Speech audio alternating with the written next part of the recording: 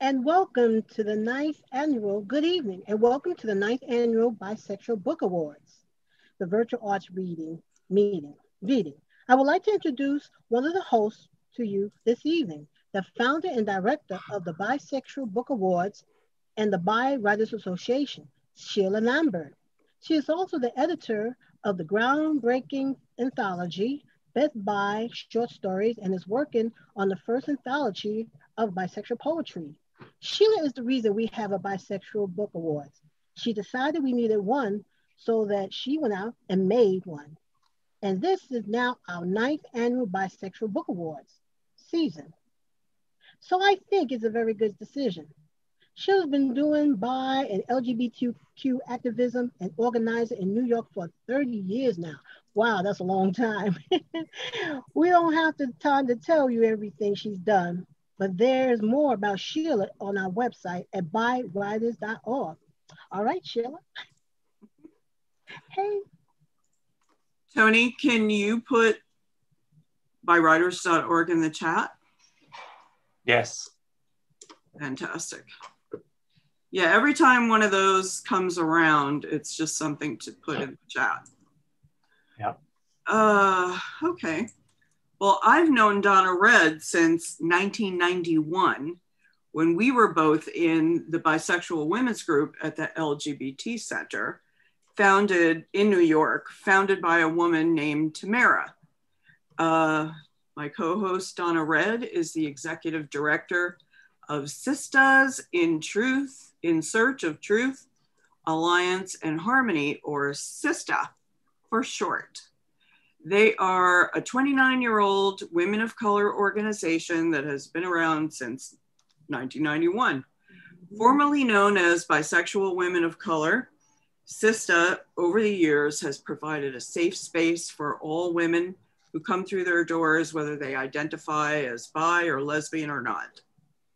She's been an activist since the 1980s, people. Yeah. She received the Brenda Howard Award, as well as a citation from PFLAG in 2012, along with other awards from other LGBT organizations. Anything you'd like to add, Donna? Yeah, sure. Um, first, I'd like to say congrats to all the finalists performing tonight, and I want to wish you luck in the awards. Right off the hat, right off the hat, rock, rocking always, rocking always. And speaking of hashtags, if you are live tweeting tonight's program, please follow and tag us on Twitter at Bi Book Awards and use the hashtags Bi Book Awards, Bi Writers, Bisexual Books, Bisexual Books Awards, and Bi Visibility Books. And we have some beautiful folks out here tonight. I want to see what's going on. Let's have a great time. okay, so uh, Donna? Yeah, yeah. Oh, yeah. This next part is on you. Oh, okay. Tony Johnson identifies as he and him. Hi, Tony. Originally from Montana, is a freelance um, custom designer who works as a full-time project manager at a Broadway custom shop in New York City. His bisexual activism focuses on creating bi-centered spaces. He began hosting annual bi family potluck picnics and in New York since 19 since 2018 and is currently a part of BiRequest leadership. Hey Tony. Speaking of which, I noticed that one of your picnics is tomorrow. Oh. Yeah, I just got to notice. Yeah. Hope you're up, you're up for that after all night with this. Oh, I will be. What? I will be. Everybody else, just meet me there. Okay. Uh, so um, Tony has been my partner in producing this event ever since it went viral, and I'm very grateful to him for making it work. I am coming to you from the Bisexual Sexual Book Awards Library, AKA my living room, where all the books are double stacked. I think you can see some of them behind me a lot of books. there's yeah, there's also some over here. There's another little bookcase. There's a big bookcase in the hallway, and then there's books kind of all around the crown of my bed. So you're a truly biographer. yeah. There's this books. Oh, and there's a pile of books on my vanity. There's just books sprouting piles everywhere. Uh, so where where was I? Uh, well, the books are, are pretty much all double stacked, so there's twice as many as it appears. Uh, and mm, we have more bisexual books in our collection than any library in the world. Wow. Uh, yeah. Tony? The, the Bi Writers Association organizes the annual Bisexual Book Awards, including our multi arts reading. Not only do they hunt down and outreach books for submission, and they also recruit and supervise 40 judges, but they are also the foremost voice promoting bisexual books, bi plus writers, bisexual writing, and bi themed arts and culture in the USA. They work to dispel myths and stereotypes about bisexuality and have organized a book club, open mics, panels, a summit, film programs, educational workshops, and even in service trainings. They provide networking for bi plus pan fluid writers in all aspects journalism, fiction, nonfiction, poetry, songwriting, erotica, plays, and TV and movie scripts. As we mentioned, they have the most extensive library in the bisexual of bisexual books anywhere in the world, as you can see. I, we're also announcing two new programs tonight. Isn't that right, Sheela? Yes, we will be, and I'm very excited about them. But we're gonna tackle that a little bit later. And right now, I want to tell you about this year's Spotlight on Fiction. A couple of years ago, we had an influx of poetry submissions. So we featured all the poetry finalists on our program. This year, we had some amazing and unique fiction submissions, creating settings we haven't seen before in bisexual fiction. So we brought most of them to our program. Oh, look at that. Mm. Uh, I can't stop myself. Great. The word them was there twice. Them. okay, Donna will be introducing the first one. So take it away, Donna. All right. Thank you very much. Okay, we're leading off with the book from the fiction category starting Startling Days, Starting Days by Rowan Hayaso Buchanan. I hope I'm saying the name right. Uh, the Overlook Press Abrams, a gorgeously wrought novel, variously about love, mythology, um, mental illness, Japanese beer, okay, and the times we need to seek out milder psychological climates. Rowan Hayasho Buchanan's Stalling Days, written in exquisite prose, rich with lightly ironic sympathy, is a complex and compelling book, work of fiction by a singularly gifted young writer Hi there. How you doing? Hi, I'm good, thank you. How are you? Okay, I hope I'm not butchering up your name. I'm just um, you know, I'm sorry. I'm just like reading it and trying to make sure I'm saying it right. it's absolutely fine. It's Rowan Hisayo Buchanan, but it look there are many names in the world and it's absolutely fine. Okay. Just want to make sure you you okay with that. Sorry. Don't. Okay. So tell us what's going on with you. Um, well, I'm based in the UK right now, and I'm actually going to be reading from the British edition of my book um, because uh, that is one I have. And so, oh, okay, I thought I heard a sound somewhere on Zoom, but I don't think it. Hmm. Oh. So, should I read? Sure, read something. Read something from, yeah, from the expert. Great. Um, okay, so Sheila asked that we pick a very bisexual section of this book. So I'm going to read a bit in which Mina, one of the two main characters, is thinking a bit about her past. She has been with her husband, Oscar, for many, many, many years. And although she's always known she was bisexual, she's never acted on it. But due to a recent sort of suicide attempt, their marriage has entered some very, very tricky waters. And into all of this, she meets a woman she's particularly interested in and who charms her. And they're about to have their first ever coffee date. So, the sound of recorded piano music burbled from the cafe's open window. Mina closed her eyes to better feel the sun. A breeze ran through the tree and the leaves applauded. She did not want to check her phone. It might tell her Phoebe wasn't coming. She eased one eye open. Mina told herself that the moment she was sure Phoebe wouldn't come, Phoebe would arrive. She wondered how long it took to push out all hope.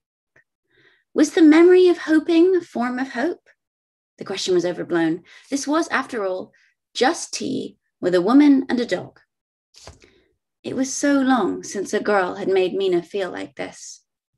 Mina's first crush was the first girl to get breasts in their year at school.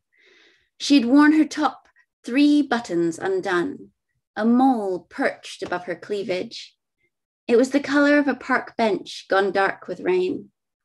Mina had spent three years wanting to kiss them all, to feel the gentle bud of it on her bottom lip. She never spoke to the girl. The girl, now woman, had recently been profiled in Forbes for a feature on young professionals. Staring at the magazine, Mina had tried to map where the mole was hiding. The second was Mina's roommate in freshman year. This girl talked in her sleep. She wore fake eyelashes to class, but didn't shave her legs all winter. No one's going to see them, the girl always said. The roommate had nightmares, and afterward she'd crawl into Mina's bed, wearing only boxer shorts and a loose t shirt. The hairs tickled Mina's legs and made her think of coral fronds reaching out for her skin.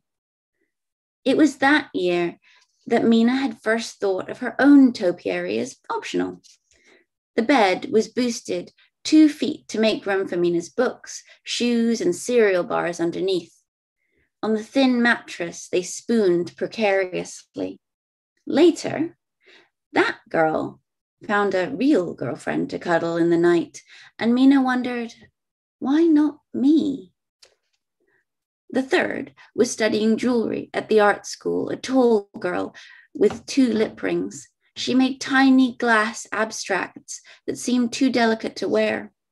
She'd asked Mina to model a pair of earrings, and Mina had felt those careful fingers raise a blush on each lobe. The feeling had been so intense that she'd fidgeted, jiggling toes and drumming fingers. The girl had had to ask her to sit still. Mina had been so full of longing that she was sure if she said anything at all, the girl would run and run and never look back. At a party hosted in that girl's room, Mina had met Oscar. She'd told him about all these women over a dinner of pizza in his dorm room. He'd smiled indulgently. Sometimes, as they fucked, he described another woman touching Mina. He described the things that that other woman might do with lips and blindfolds as fantastical as bodice ripping. In cafes, he'd lean towards Mina and ask, Her? nodding towards a swishing skirt. Mina had never done anything about it so it wasn't quite real to him. She guessed it never would be. Phoebe must have forgotten the meeting. Mina thought of the quiet filling her apartment. She'd go back. She'd meditate. Wasn't that what crazy people did when they were trying to become uncrazy? Hi. Phoebe was followed by a hillock of fur. As they got closer, Mina saw the flapping tongue. Phoebe looped a leash around the chair. Should Mina stroke the animal? It looked suspiciously up at her. They take orders at the counter, Phoebe said. Can I get you anything? And so I'll leave it there. Thank you.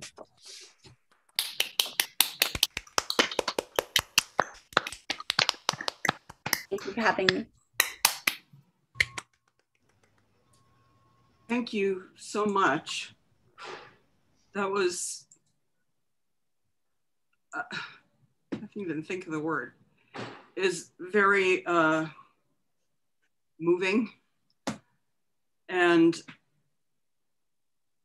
kind of catches someone's, you know, inner thoughts, kind of trying to feel out who they are, who they're attracted to, who they could fall in love with. Um, very cool. Okay.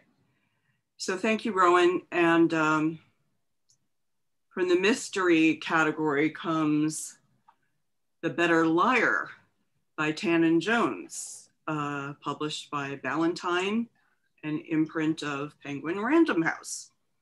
Um, Leslie Flores has the perfect life a loving husband, a happy newborn, and a New Mexico home straight out of a magazine. She's been the perfect daughter, too, taking care of her ailing father in his final days. But Leslie has a dark secret, and it's an expensive secret to keep when she discovers she won't receive a penny of her inheritance unless she finds her estranged sister, Robin. She sets out to track her down. Instead, upon arriving at Robin's apartment, Leslie discovers her body. Just as Leslie begins to panic, she meets a charismatic and aspiring actress named Mary who bears a striking resemblance to Robin and has every reason to leave her past behind. The two women make a bargain. Mary will impersonate Robin for a week in exchange for Robin's half of the cash.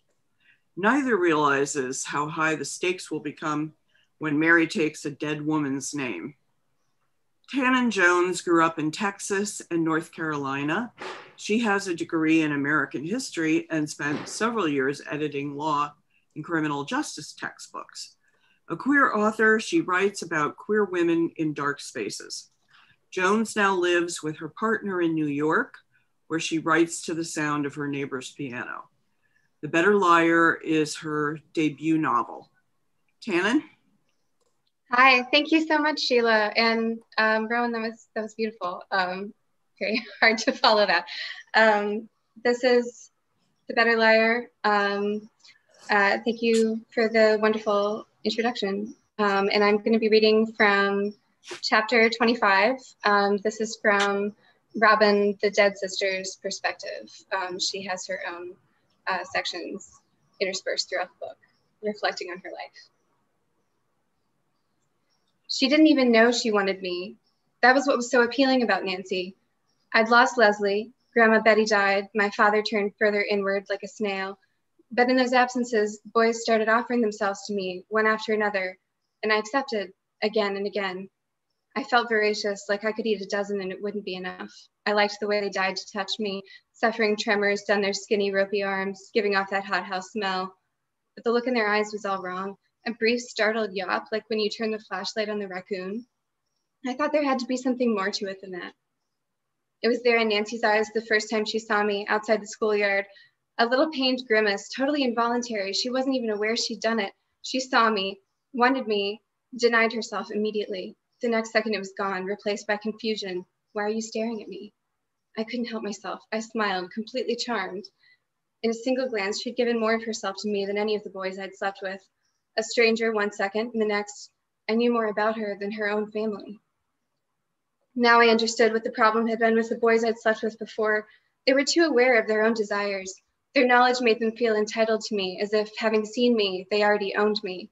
When I gave in, it was nothing more than what they had expected. Giving myself to Nancy was so much more rewarding. She had never allowed herself to want any girl, so I could not be just any girl. To her, I was the only girl, or the only one who mattered.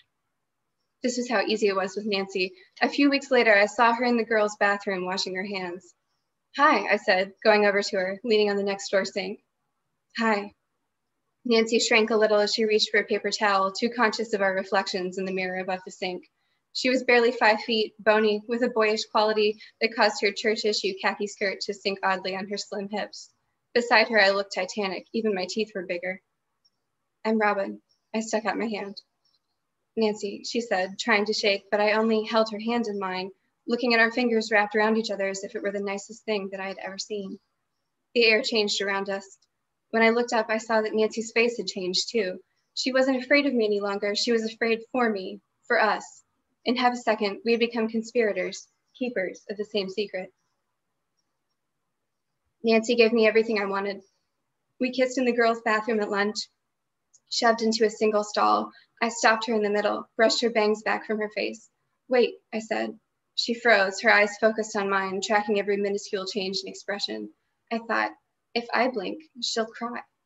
I imagined myself licking off her tears. Her sisters didn't know at first. No one knew. We fucked with our hands over each other's mouths. She called me almost every night, compulsively. For my part, I couldn't get enough of how badly Nancy wanted me. Me, specifically, not the girlness of me, the headless story I became in boys' mouths. In Nancy's mouth, I only ever tasted myself. I was the first person Nancy had ever slept with, but she was the first partner I'd fought with, really fought. In a way, it was the same thing, a means to stick your fingers in. You never knew exactly what someone was like in bed or in a fight until you were in it with them. And once you had the feel of them, they were yours forever, yours in a deep, secret way. They kept their peace of mind at your pleasure. You had only to stroke them correctly, and they became your little animal again, purring or scratching. After a while, I think she hated me for knowing her like that. I wasn't careful with her. I can see that now. Still, she made herself naked for me again and again, told me she loved me, let me lick the salt from her. There was something insubstantial to me. I felt I didn't exist until I could see my effect on her. Did she know that? Maybe it's only my memory. I'm getting dimmer, as ghosts do.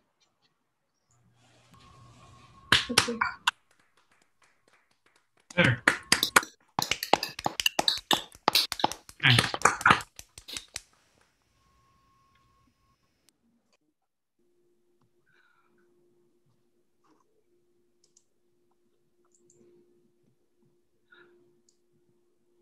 was great. Yeah. That was wonderful. Thank you, Tanen. Thank you, Tanen. Me again. Yeah, hold on. Yeah. Uh, yeah, I've been trying to get the awards in order. Um, thank you, Tana. That was very, you could really get that woman, woman's or that girl's at that point in her life character from what you wrote. And that that same you know time in their life of being oh, i can't remember the phrase for it because my brain is turning swiss cheese but um coming of age. That's it. Coming of age into bisexuality, into liking a girl. Okay. So, Bi Request is a very important bi group here in New York that I've been a member of since its second meeting in 1994. Tony is on the leadership of Bi Request.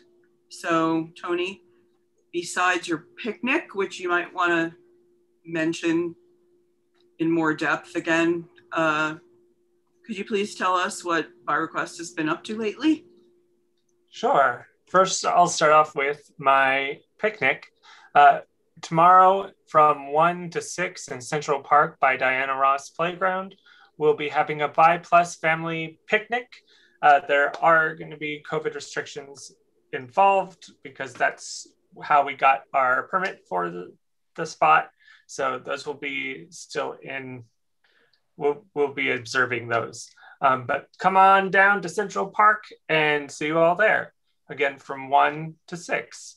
Uh, now, about BiRequest, uh, Bi Request has existed in one form or another since the early 1990s, where a community based support and discussion group that also has started hosting special social events such as game nights, Bi Plus Trivia, and Speed Dating Friending, to name a few. Our all volunteer run groups group serves the New York City metro area and is open to all Bi Plus identifying folk and our allies. We're folks who've been there and know what it's like to be ostracized, set aside, and erased as bisexual plus people. We identify as pansexual, same gender loving, sexually and affectionately fluid, ace and arrow, and more. We are multi generational, multiracial, many gendered, and variously sexed. We are uniquely challenged and able in many different ways. Uh, we work toward the realization of our collective liberation. You can find us online on Meetup, Facebook, Twitter, and Eventbrite. I'll drop those in the chats. Uh, now, Donna, I think it's time for you to announce our tongue twister of the evening. Yeah, I see. okay, now um, I'm going to announce the next the next group. Next um, I'm going to announce it. Let's take it in love. Please take it in love. Um, bisexuality in Europe, sexual citizenship, romantic relationships, and bi identities. Edited by Emiel Maliepaard and Renate Baumgartner Routledge. Routledge. okay. This book, edited by Emiel and Renate, is the first of its kind that brings together state of the art research from Europe on bisexual, plurisexual people. Contributors range from established scholars such as Nikki Hayfield and Christian Kaisi to early career researchers at Anuka Latai and Nicole um, Breda, as well as PhD candidates Robert Renee Viet, and Zainab, you know what, Paganat Besed. Okay, these various academic back, backgrounds, example anthropology, geography, psychology, and sociology make it an exciting interdisciplinary exploration of European work on bisexuality, plurisexuality. All chapters deal with bisexual theorizing and or empowering material on the everyday realities of bisexual, pansexual, or border, broader, plurisexual people.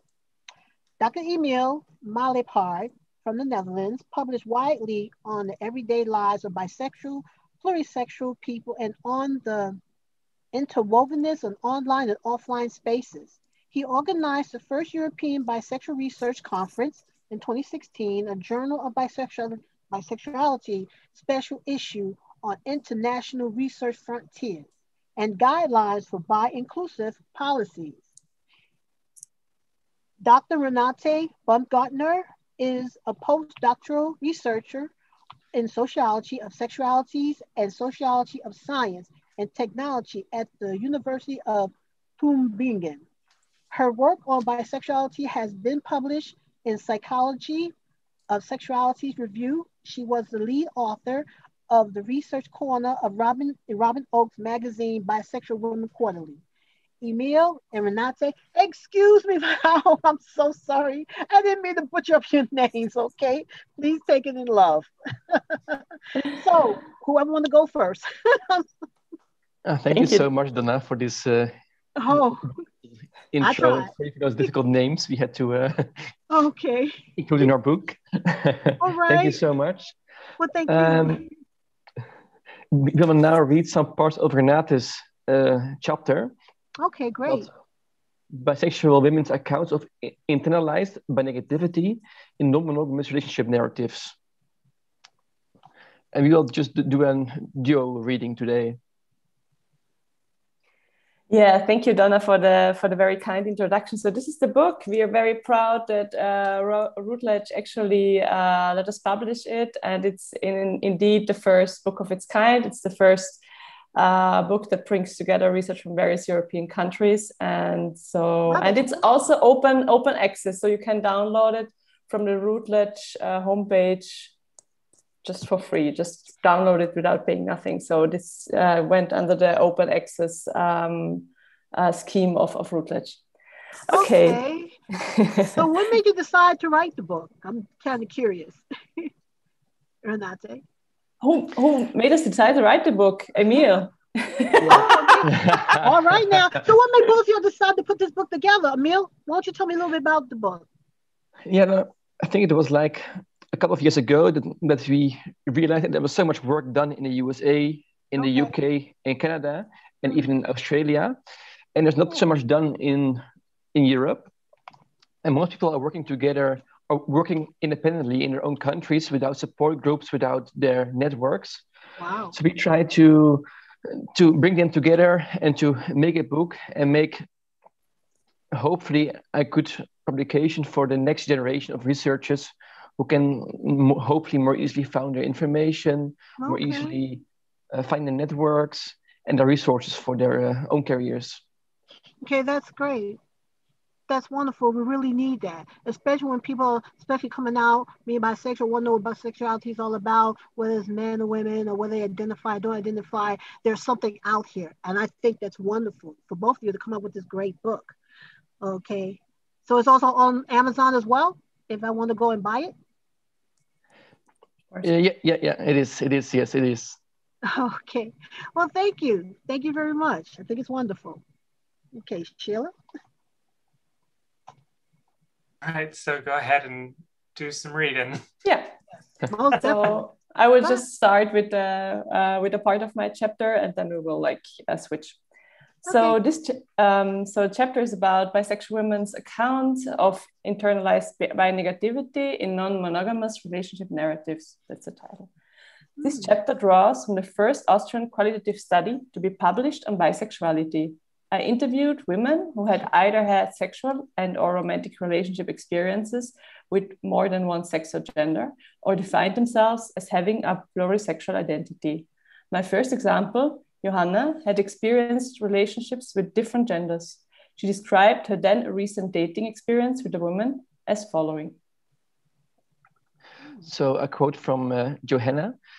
Um, also, I never told Julia that I date a man because I somehow have the feeling it would hurt her somehow double. Because they have the feeling I only would have played with them and actually wanted a guy, or I don't know what, and then.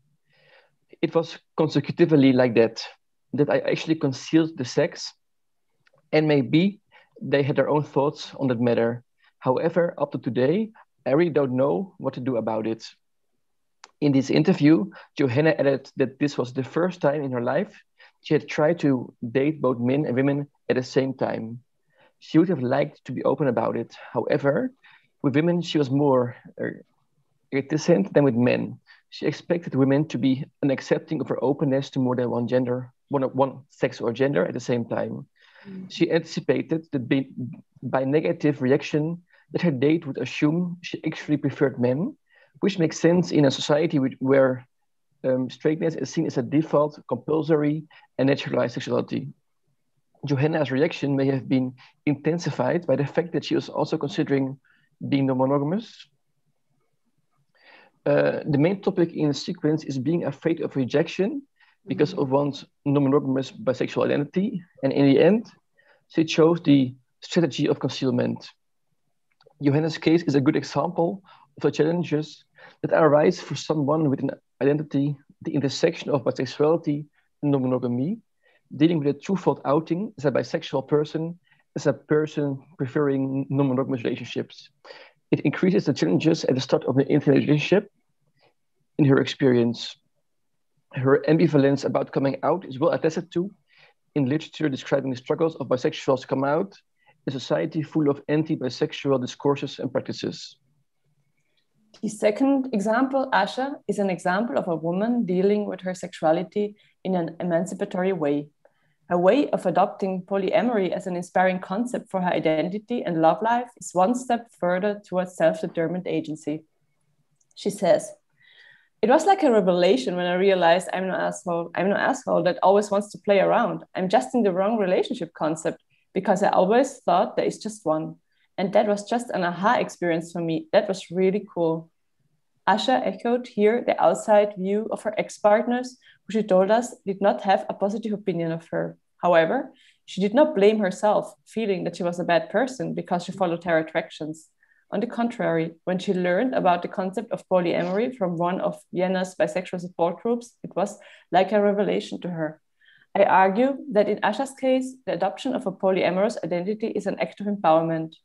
The example provides evidence that women experiencing the emancipatory potential of non monogamy are less likely to link bisexuality and unfaithfulness in a, in a way that reflects internalized binegativity.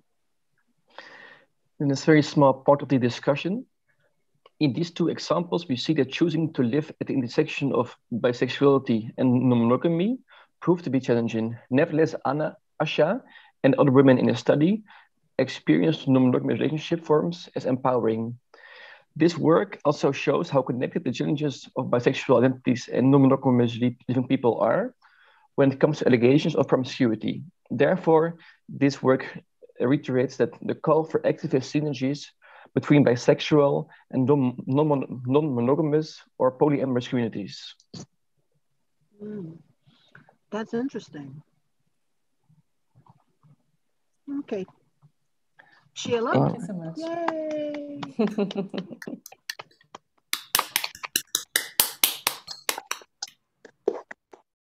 That's Thank great. you so much for your reading and for for doing this research um, and bringing this research to light. You know, the more books like yours that focus on the topic of bisexuality, whether it's in Europe, Australia, Sweden, North America, um, you know, the more we will learn. And uh, it's very exciting to me that more and more research is being done focusing on us because that was never the case before. Um, well, Fritz Klein and no one else. So, uh, you know, it's exciting to me when I see that this is happening. Now, let me see if I can find my notes of what I'm supposed to do next. Okay, so without our judges, there would be no bisexual book awards. We recruit around 40 judges annually to read and evaluate the books in each category. Uh, they review, discuss, and vote on the books using our main three main criteria to determine the finalists and the winners. Our three main criteria are uh, the quality of overall writing, the quality of writing about bi plus, bisexual, pansexual, fluid characters, bisexual themes, or bisexual material. Um, and also the quantity of bisexual material. If you have a great scene where bisexuality is present, uh, that's great. But if that's all you have in your book, no matter how well written it is, it's not going to be enough. So it's sort of like a three legged stool that has to be well balanced. And that's what we're looking at um, in terms of who, which books we want to make finalists or winners. And, you know, it's, they're very, they really discuss back and forth um, their opinions and the qualifications of the book. Um, it's, they really do a great job.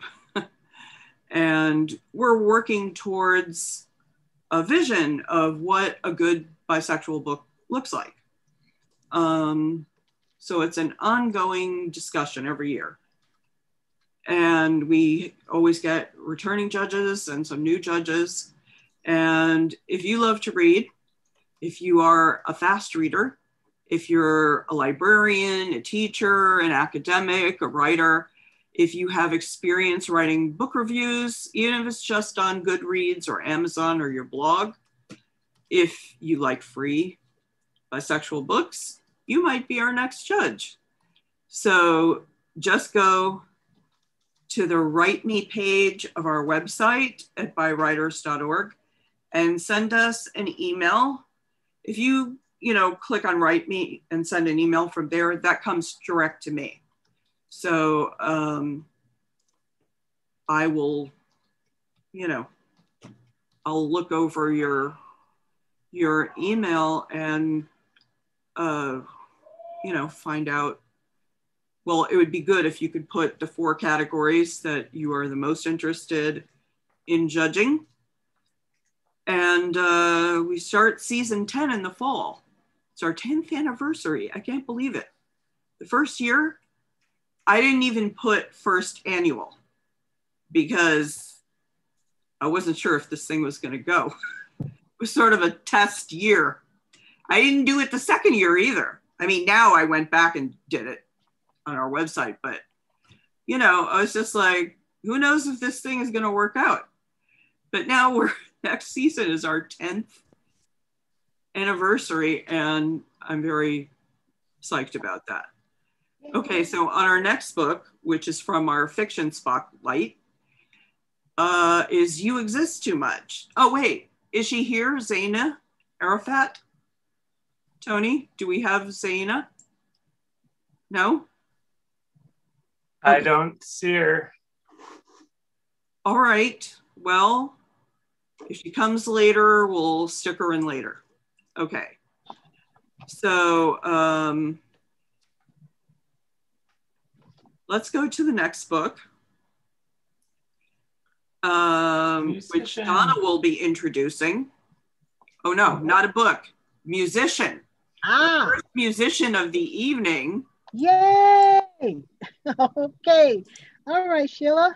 Um, yes, we have waited a long time to get Anne Heaton on our program. She lives in Milwaukee, so that wasn't possible. But now that we're vi- virtual, we thought it would be our big chance to get her.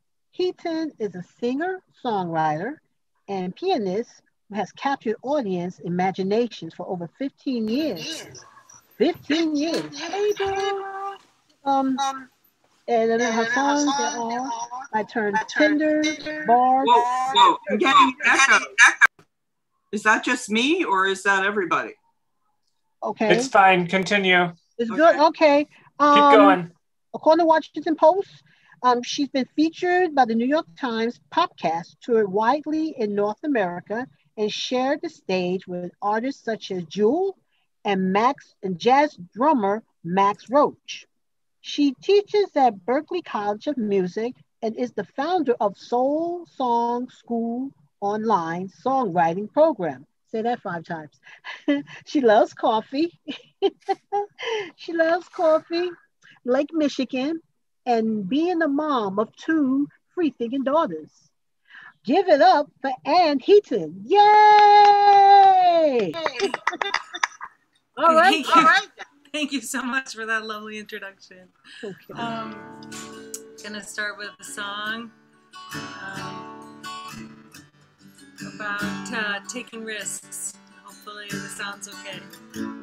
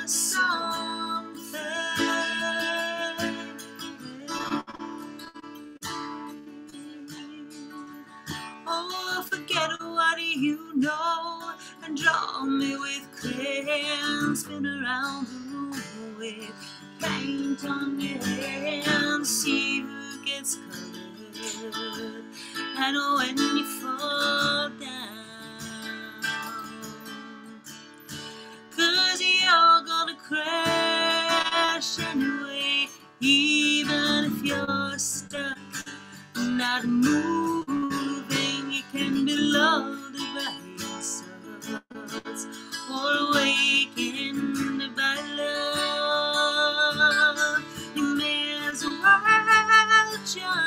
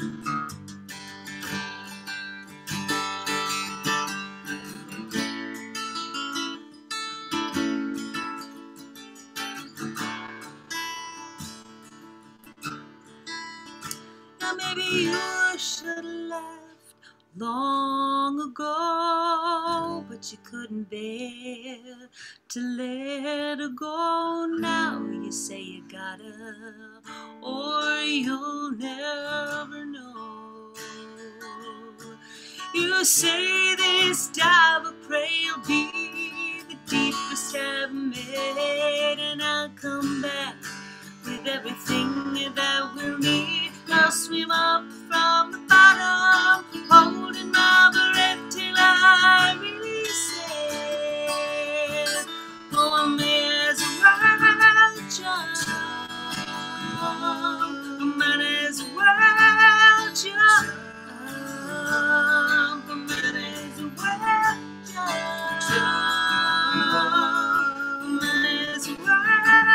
Jump.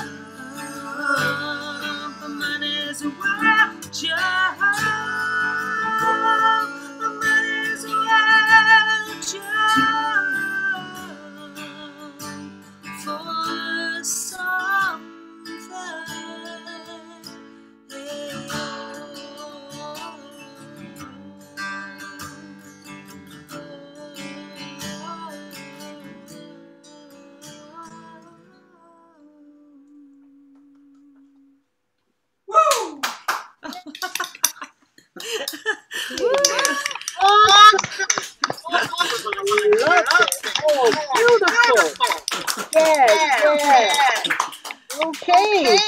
And if anyone wants more information um, and the website, All right, and we've got one more Donna. www.anneheaton.com. So check it out, folks. Donna? Great. Yeah, yeah. Another one. Done, done, done. We've got another song, Donna. Oh, Um, another so song. I'm sorry. I'm sorry. You know, hopefully, um, bring some more. you can all y'all can sing along at home with this one. Um, this uh, well, I was gonna talk, but I think I'll just sing. Um, it's kind of how we label things as good and bad, and sometimes life is hard on us, and sometimes the things that are hardest on us sometimes lead to things that feel good. So this is called the celebration song. I don't reheat my coffee. I put a brand new pot on when I drop my child at preschool. I might have a sparkly dress on if I'm gonna dry high, high. If I wanna fly high, high. Who's gonna stop me? No one but me. And what if I don't? Celebration going on, celebration, celebration.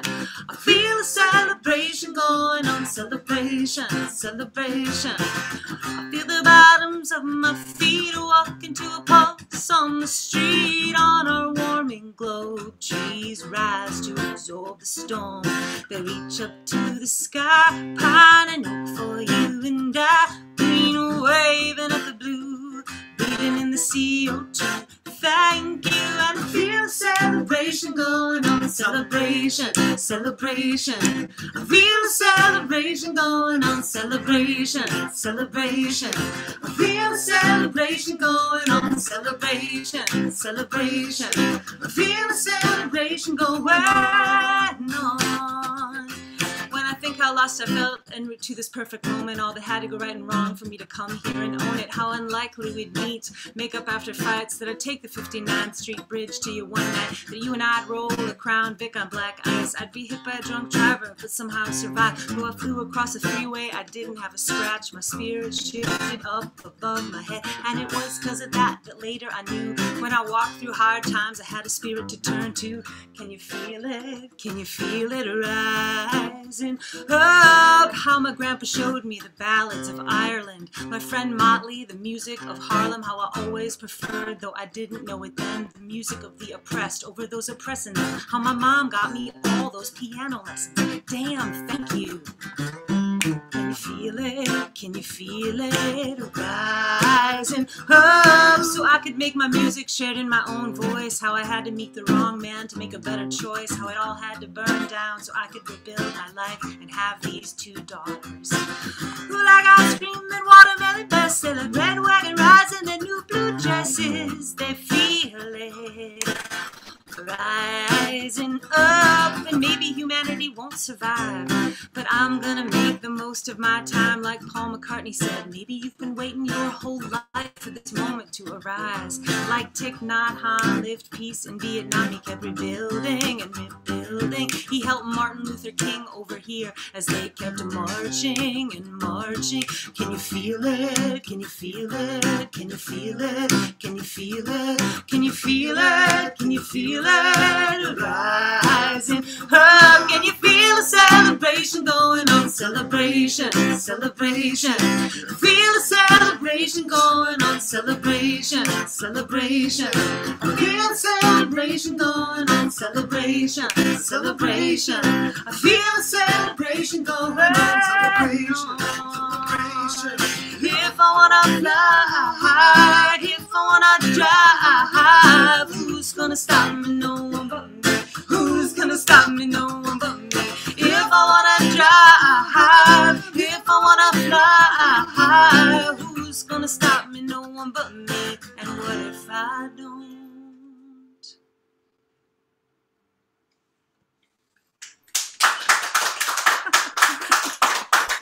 Thank you. Oh, that was, you know, so moving, so touching.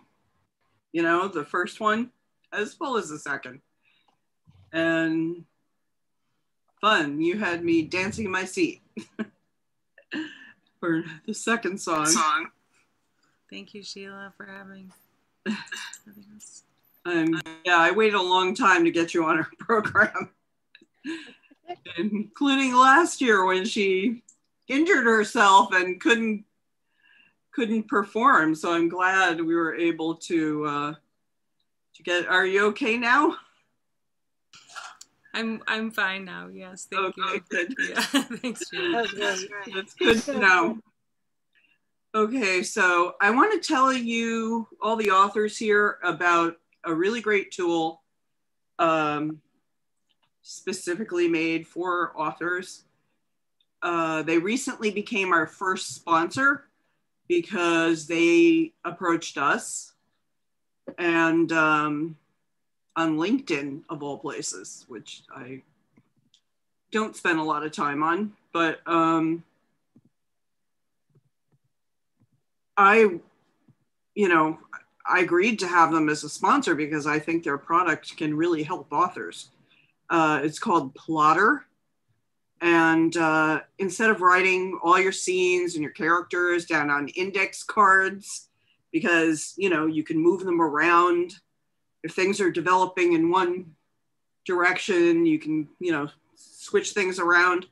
But uh, instead of writing all your scenes and characters down on index cards to try to keep track of them, you can have your desk back, your dining room table back, your coffee table back, your rug back, wherever you're laying out those cards. And just put it all on Plottr and get your apartment or your house back. Ever had your cat or your dog jump on your index cards and scatter them to the four winds? Can't find all of them after that. Uh, save all your info on Plottr and never have this happen again. Plottr will keep track of it for you, and you can you can move everything around. I mean, it's just it's incredibly flexible, and uh, you know I don't I don't I haven't had a chance to use it myself yet, but I was so impressed when I was reading about it, and um, I watched a video, and I really, if I was writing a novel, I would use this. So I just wanted to share that with you. Um, and they've been very supportive of us. You know, I, I really appreciate that. So, um, our next book comes from our spotlight on fiction, The Company Daughters by Samantha Rajaram. Samantha, are you here? She's here. I am. Uh, okay, so The Company Daughters by Samantha Rajaram follows, well, I'm not sure how to pronounce it, Jana Bile. Bale. What? Yana Bale. Yana Bale. Okay. Um, follows Yana Bale, a young poor domestic servant in the 17th century, as she follows the woman she loves to Batavia, now Jakarta, as part of a sex trafficking policy by the Dutch East India Company. Um, Samantha Rajaram is an English professor and former lawyer whose work focuses on how laws impact marginalized people. She has been published in India Currents, Catamaran, and in the South Asian women's anthology Our Feet Walk the Sky in 1992. Her novel is an Amazon bestseller in LGBT and historical literary fiction. So, Sam, let's hear what you picked out for us today. Great. Thank you so much, Sheela. so I'm going to read a short section from the beginning of my book, The Company Daughters, which is set in 1620 Amsterdam during the Dutch East India Company's colonization of Java, Indonesia. And here the main character, Yana, is working as a servant for the wealthy Reynst family and finds herself drawn to her employer's daughter, Sancha. Meanwhile, she's also just met a Jewish sailor and merchant named Tobias Levy. And in this scene, Tobias takes her to dinner and they go for a walk afterward. We walk silently through the alley and back into the open moonlight, and I grow troubled, thinking that he may expect the same of me. But he's different from the roughnecks I've known. I like his high forehead, dark brows, and those open, bright blue eyes. He's stronger than me for certain, but he's not the type to enjoy roughness. I've learned to spot them quickly. They have a wildness in their eyes, even if they're wealthy. Tobias looks at his boots for a moment, smiling. What is it? I ask. I was thinking that you looked so young and lovely in this light. You're an interesting woman, Miss Yana, full of thoughts. You have the look of someone living some other hidden life. At this, I'm silent and gaze at his wide, high boots instead. The worn laces, the bindings frayed. I cannot imagine him purchasing something as ordinary as boots. The style is popular among merchants, flagging at the top. Do you wear shoes when you're on deck? He laughs. I thought we were discussing your many thoughts. I blush as I often speak before thinking. Father used to cuff me for that. Spinny headed Maishi, he would call me. But Tobias addresses my question with a seriousness that warms me. Boots on deck? Not always, especially when we get closer to the islands. Gets hot like a forge in that sun. Some of us strip down to our breeches just to feel the sunshine on our skins. By the time we make it there, we're so tired and hungry. The sun is all we have. You must be eager to go back there, I say. Aye, but I have work to do. I'll stay here a few days and help with the cargo, make some contacts with the merchants and managers I know. They forbid us Jews from joining the guilds, but even the smaller merchants can do well enough. And after that, off to Bruges with some of the cargo. I have contacts there. I prefer the sea to gravel roads, but this too is part of my work. We come to a brick building with a quaint turret. This is where I stay, he says. We stand before the building, and I feel embarrassed, unsure of what to do. Thank you for your company, he says, without touching me. I'm both surprised and confused, having grown used to others expecting much more for far less of my time.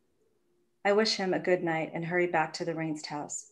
It's late and I must wake early to see about work at the de Graafs. Later, once I'm finally lying in my uneven cot in my little attic bedroom, my thoughts return to Sancha. I imagine my lips on her skin, my hands holding her slim hips, winding her long hair around my index finger, from where do such thoughts arise? I have never been told they are evil thoughts, but I know they are. Nothing is said of women loving women, only of men and men, a grave sin, or women and men. The church condemns lust and pleasure, but still the brothels flourish at the outskirts of Amsterdam. The proprietors take in girls just past their first bleeding to do their work for two flavorless meals per day. Esteemed grandfathers grunting like donkeys, smelling of ale.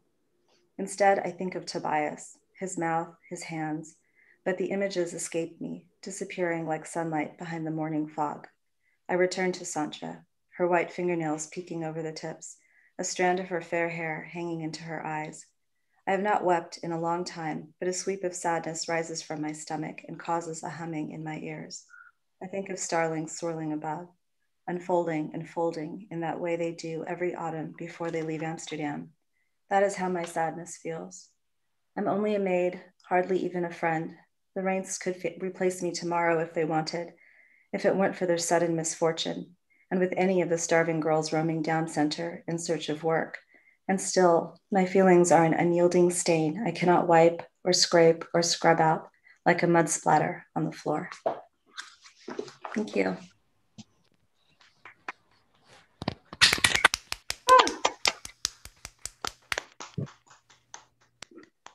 Thank you so much, Samantha. That was so. Oh.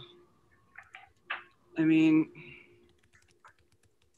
it really exemplifies bisexuality the way you can have dual feelings, you know, for someone of the male gender, someone of the female at the same time. and uh, the emotions that go along with it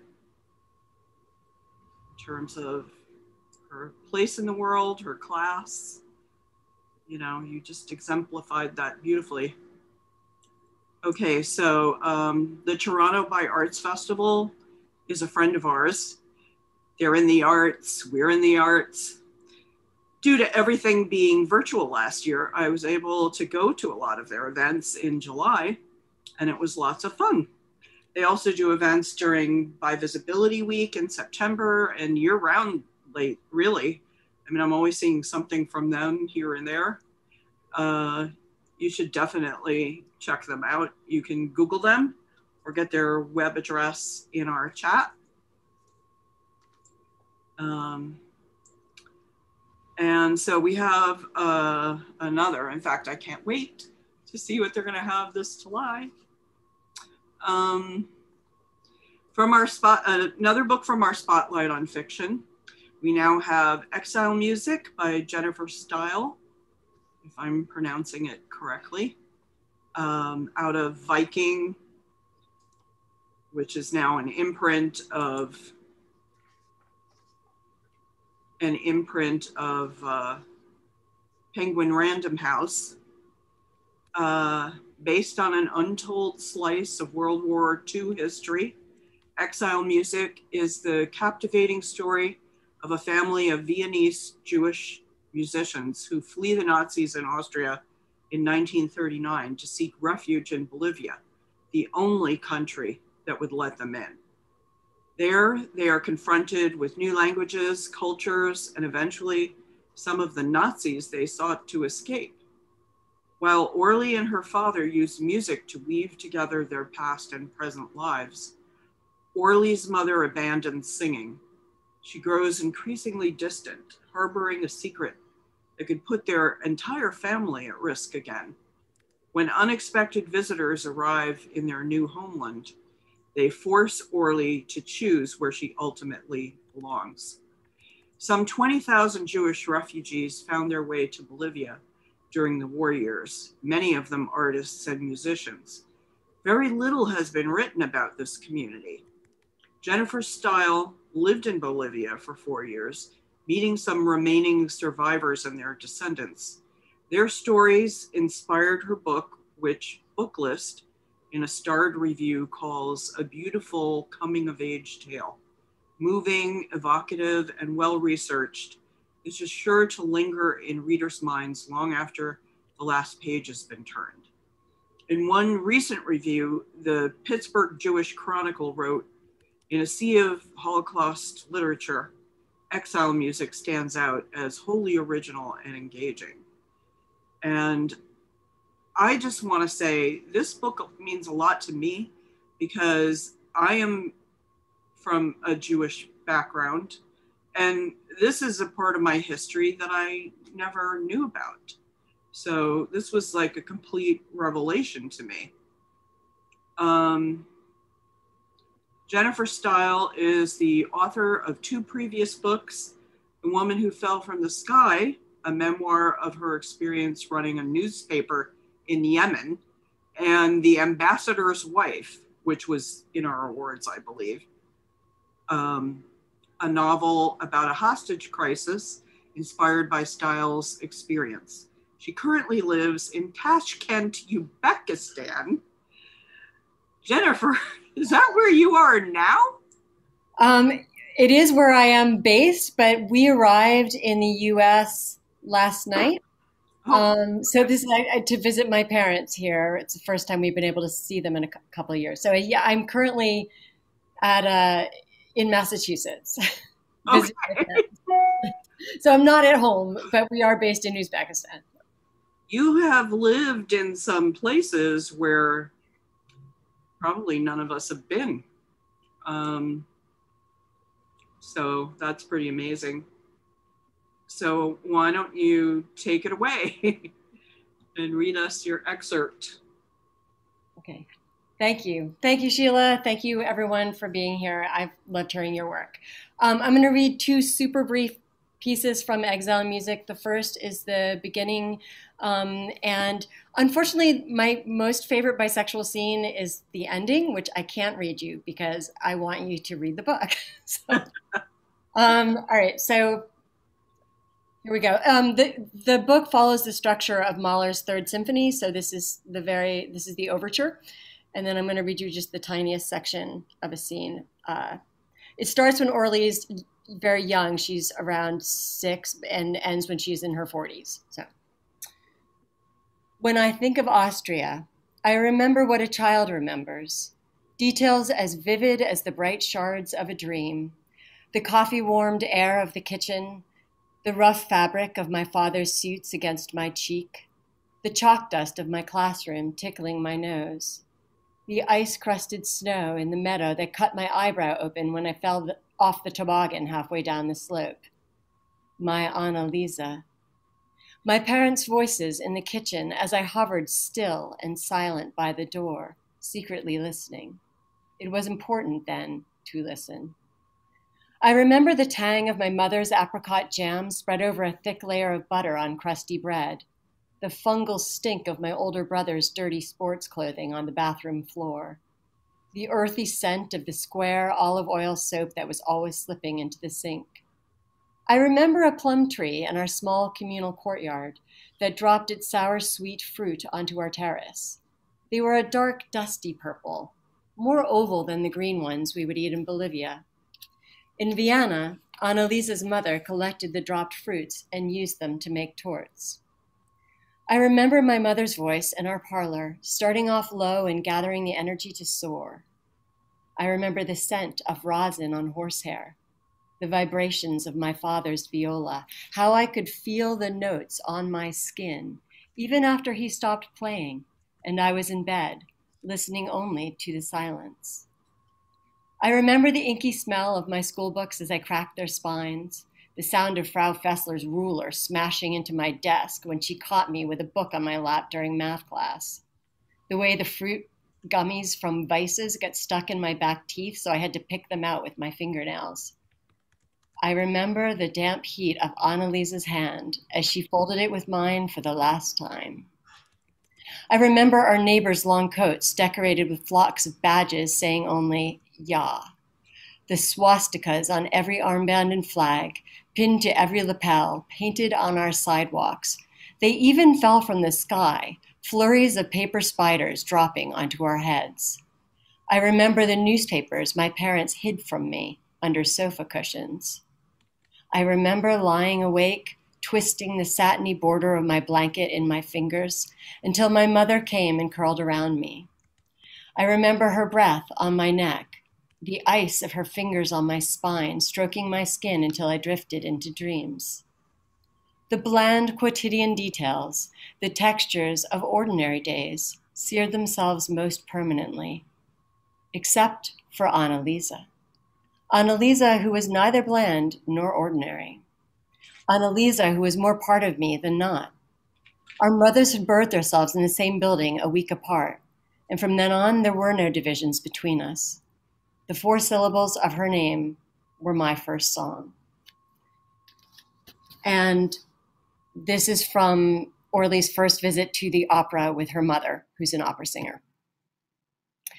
During the interval, I shook out my stiff legs as we walked to the lobby bar. My mother ordered me an Apfelspritz and herself a glass of champagne. I looked longingly at the cakes, but my mother said we could go to a cafe afterward. As she was paying, a woman with long glittering earrings and a spiraling tower of fair hair touched her elbow. Yulia, I thought it was you. My mother turned to greet the woman, introducing her as a singer she knew from work, but I failed to catch her name. I was distracted by another woman. Was it a woman? Just behind her. Dressed in what looked like a man's tuxedo, she had combed her short dark hair straight back. Instead of tipping her weight into one hip or wobbling on heels, she stood with her legs a foot apart, comfortable like a man. When she saw me staring, she smiled. I'm Odion, she said, her voice warm and low as she offered me her hand. I took her dry fingers in my damp ones. Are you a girl? Odion laughed, but my mother reached for my elbow and pinched it. Orly, Odion, please forgive my daughter.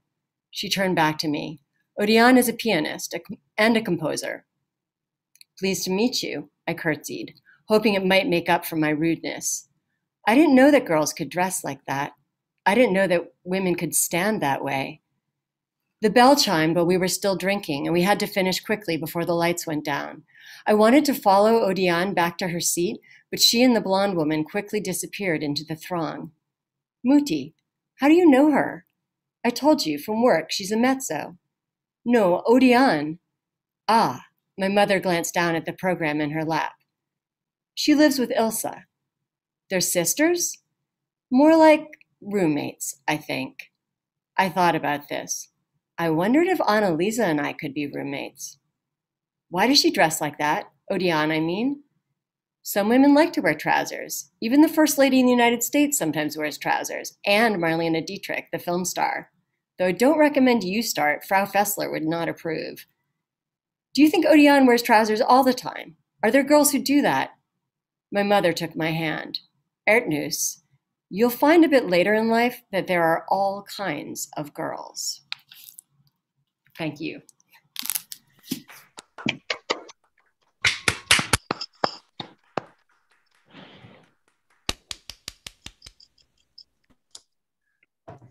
Thank you, Jennifer. That's great. One of the things I love about all of these readings is just how you all use words to paint pictures. Because I'm a I'm a visual artist, and so I paint pictures with like paint and pixels. But you all paint these such vivid and rich textures and stories and places with words, and it just amazes me. Thank you again, Jennifer. Um, so something I'd like to pop in and take a sec to let you all know that BICON UK 2021 will be online this year from Thursday, August 19th through Sunday, August 22nd. BICON UK is a three day, weekend long educational and social gathering for Bi Plus people, their friends, partners, and others with a supportive interest in bisexuality. We don't all use the labels bi or bisexual, but for BICON UK, bisexuality plus is the common theme. They have both social and fun with discussions, dancing, games, music, crafting, and costume parties, as well as more serious workshops on issues around bisexuality and related topics. BICON UK is a space to be completely yourself, make new friends, catch up with old ones, all in a totally accepting atmosphere. For a link to their website, as well as a link for tickets on OutSavvy, I will be putting those links in the chat shortly. So, Donna, Hi, hi, okay. Our next book comes from the memoir category, The Fixed Stars by Molly Wizenberg. The Fixed Stars is a taunt electrifying memoir exploring timely and timeless questions about desire, identity, and the limits and possibilities of family. In honest and searing prose, Wizenberg forges a new path through the murk of separation and divorce, coming out to family and friends, learning to co parent a young child, and realizing a new vision of love. The result is a frank and moving story about letting go of rigid definitions and details that no longer fit and learning instead who we are, who we really are. Molly Wizenberg is the author of two best-selling books, A Homemade Life in Delancey and the James Beard award-winning blog Orangette. She has written for the Washington Post, The Guardian, Saveur, and Bon Appetit. And she also co-hosts the podcast Spilled Milk with Chef Brandon Pettit. Wizenberg co-founded the award-winning Seattle restaurants Delancey and Essex. Molly, you there? I am here. Hello. Hi, the floor is yours. Hi, thank you so much, Donna, and thank okay. you, Tony. And Sheela, thank you so much for having me. I'm thrilled to be here. Um, so the book that uh, book that I'm reading from is The Fixed Stars, which, as Donna mentioned, is a memoir.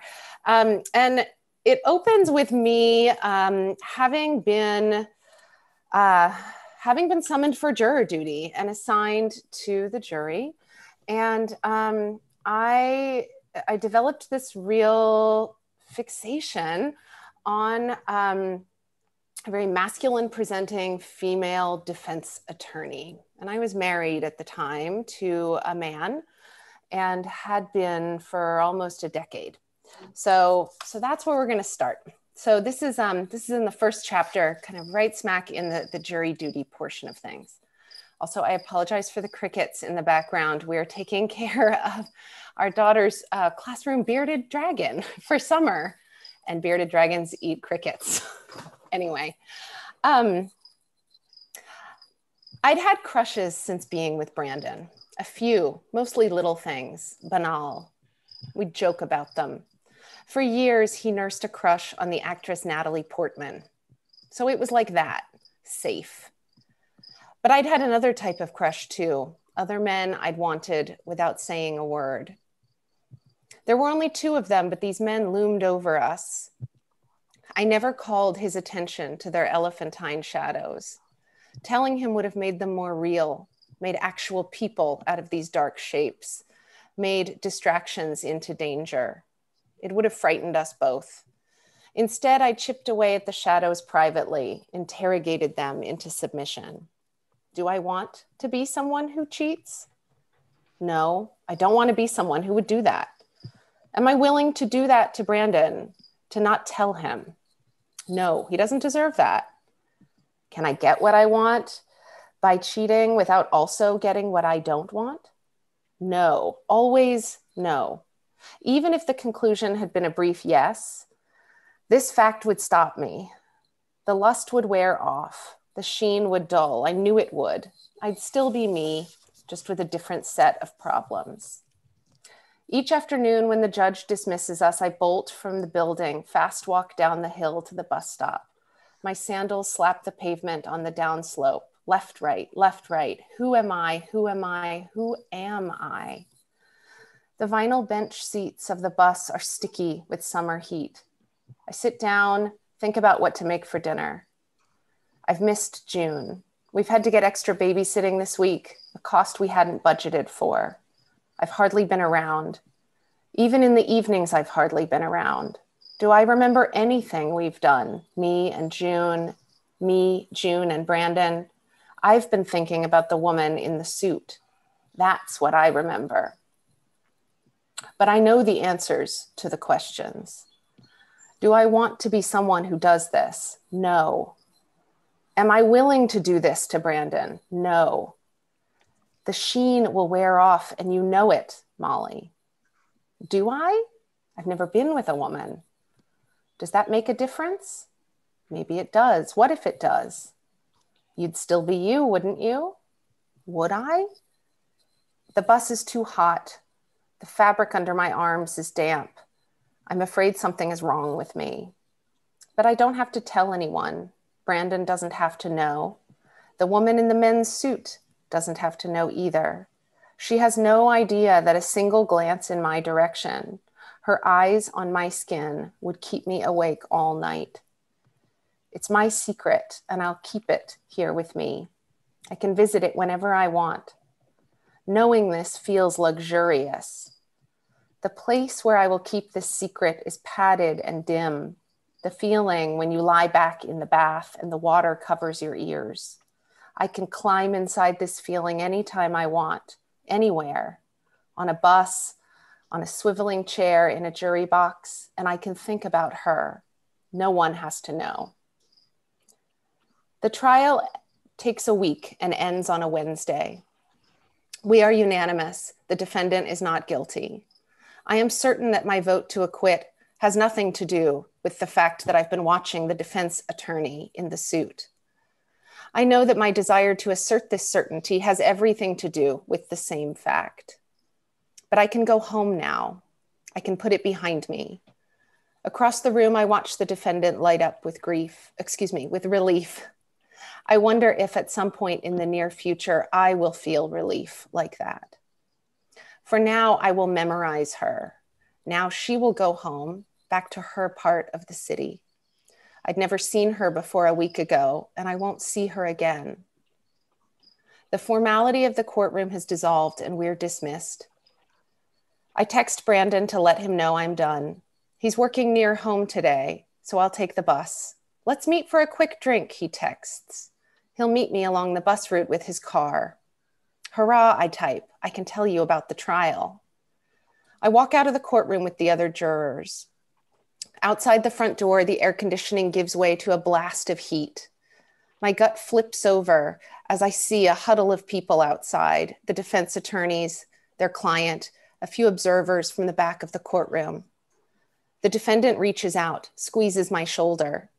Behind him, the woman in the men's suit is standing in the half shade of a small potted tree. She's taken off her jacket and rolled up the sleeves of her white shirt. It must have been starched at some point, but is already drooping. I'm sweating in a tank top. She steps toward me and the sun explodes off the paving tiles. I raise my hand to shield my eyes. Thanks, she says. We weren't sure how that was going to go. This is a huge relief. She's smiling and she offers her right hand. I shake it. I've looked at this hand, but now that I touch it, the moment is over so fast that I don't feel anything. It occurs to me that with my left hand up at my brow, the diamonds along my wedding band must be winking in the sun like lighthouse beacons. I cross my arms, tucking my ring finger into the crook of an elbow. I heard in voir dire that you're a writer, she says. Me too. I'm Nora, by the way. Oh, wow, I squeeze out. Sweat beads on my collarbone like a cheap necklace. What kind of writing do you do? Mostly fiction, Nora says. She's a lawyer part time. She took this case to help a friend. She pushes her hands into her pockets and rocks on her heels. Nice, I say, and force a smile. My right eyelid twitches from squinting. Cool, she says, like a normal person. She smiles back. I've wanted this moment, thought about it for a week, but staying here takes effort. The sun is so bright it stings. My eyelid is spasming wildly now. It was nice to meet you, I manage. Maybe I'll see you around. She nods, still smiling. Thanks again, she says, but she's already pivoting on her heel, back to her client. I turn fast, hoping she hasn't seen whatever my eyelid is doing. I aim myself at the bus stop and start moving. Who am I? Who am I? Who am I? All the way down the hill. When I get there, I've missed the bus, and the next won't come for 15 minutes. There's a crowd of men in front of the building across the street, their backs against its stone facade. I wonder if the stone feels cool in this heat. They must have been out here all day while we sat in the air conditioning. While I'm forming this thought, Nora walks past them, she slung her jacket over her shoulder, and a soft sided briefcase hangs at her hip. She lowers herself onto an empty bench at the bus stop opposite mine. Her hair is stringy with sweat, and there's a shadow under her eyes. She hasn't noticed me. I don't know what I'd do if she did. My bus pulls up at the sidewalk. In case Nora has seen me, I make a show of my eagerness to leave, my detachment from the past week. I lock my eyes onto the bus door as it passes, swivel my head extravagantly to follow it to the curb. I am a stage actor now in a play about a bus stop. I step up through the folding doors and take the first open seat on the street side where I can still see her. She leans forward, lets her hair hang, looks at the pavement. The bus lurches away from the sidewalk, and I watch her get smaller until she disappears into the glare. I could have yelled to her. I could have caught her eye, or she could have seen me, yelled to me across the street. In another iteration, I could have lived it differently. In some other life, I might have stood next to her in a photo. But what about Brandon? What about June? I swing like a pendulum from sadness to relief, sadness to relief. A disaster averted. It could have happened, but it didn't. The bus nears my stop and I yank the cord. I step out onto the sidewalk. The air is still warm, barely perceptible where it touches my arms. Brandon's car rumbles at the curb and I open the door and climb in. The next morning, I woke up thinking about her and the morning after that. I allowed myself to do what I hadn't during the trial. I searched for her online. It didn't take me long to find her last name, a couple of photographs. Her smile was disorienting, like being blindfolded folded and spun around. I thought of a friend who'd suffered a recent bout of vertigo, how he described that these tiny mineral crystals from one part of his inner ear had wound up in another part, the wrong part, so that when he looked down, they'd roll around and t- trick his brain into thinking the floor had tilted. That's what Nora's smile did to me. It located a feeling where it wasn't supposed to be, turned the room on end. In a book on amateur astronomy, I read that if you can identify Orion and the Big Dipper, you can use them as guideposts to find every major star and constellation visible from the Northern Hemisphere, no matter the season or time of night. I had found my stars. I had Brandon, I had June. I had only to redirect my focus. Surely that was it. I had to look at them, look at us, look at me in this life. I knew who I was in this constellation beside my people. I knew how to stop this. I could interrogate my feelings for Nora into oblivion, but the questions that had been persuasive seemed useless now. Then I'd had the experience, the perspective of experience to draw on. I'd had relationships with men, enough to allow me to generalize, extrapolate, connect the dots into shapes. Here I had nothing. I'd never been with a woman. What if the view would be different there? Different in ways I couldn't imagine, like the view from a galaxy a billion light years away. Constellations are, after all, a trick of perspective. Thank you so much. Thank you. That was very, you know, when you write a memoir, you open yourself up. And, you know, you really let your readers in to your inner life in a very deep way. And uh, I appreciate that a lot. Thank you, Sheela. Um, okay, so Rorie Kelly is our most frequent flyer. she is the most generous musician who has ever played for us, performing so many damn times that she deserves a medal. Mm. And Rorie, I have one for you next time I see you. Ooh, very excited. uh, Rorie Rorie Kelly makes Lady Beast music. I'm Hmm. not sure what that is. Have you coined a term or is that an actual thing? It's a thing I made up, and now I feel like it's actual. Oh, okay. okay, so she makes Lady Beast music. I guess we'll find out what that is in a minute. Uh, her life's mission is to create music that inspires others to love themselves fiercely and become their own heroes. Rorie's empowerment anthem, If You Teach a Bird to Sing, led her to perform at the Obama White House and earned her a top 10 staff pick from WFUV's John Platt. Rorie performs weekly on her live stream, Monday Night Muses, and you can tune in every Monday night from 7 to 9 p.m. Eastern Time on her Facebook, YouTube, or Twitch page. I guess we'll have that. You can put that in the chat, someone. I think Tony And, just uh, in the chat. Her new album, Shadow Work, is set to be released in spring 2021. And uh, the singer promises the new album will be big, dark, and 150% more witchy. Rorie? Hi, all. Hey. That was a, a bi event at the White House, by the way. When I got to perform, that was a bi community event. Um, and uh, it was really cool. It was the Obama White House did a bi community briefing. Um, the first and only president to invite us to speak particularly on issues that affect us. And I was just like, it was so lucky that I got to be a part of it. So this is a song called "Lying Streak." It is on my new album, which is out. It's here. Um, and uh, this song is.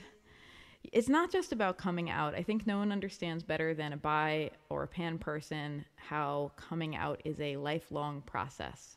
Um, we we are never done. and it's kind of about that and about those very awkward situations that arise when we realize, oh, I have to come out again. as well as the internal experience.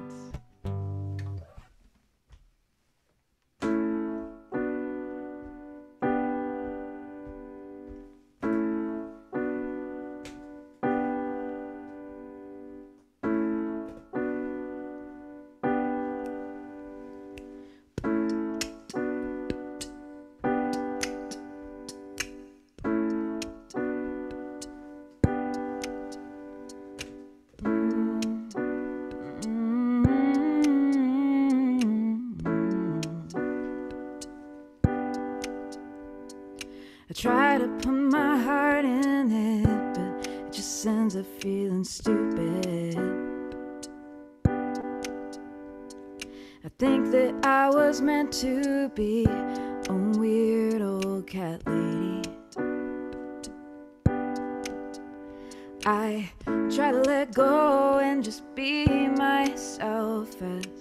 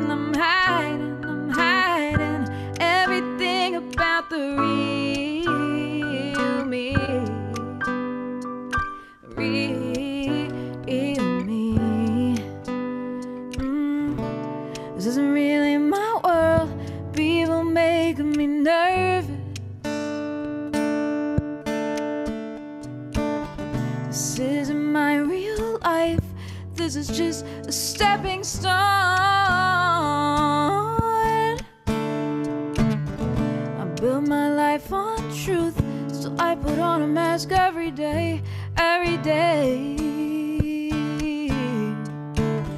Only until I'm smart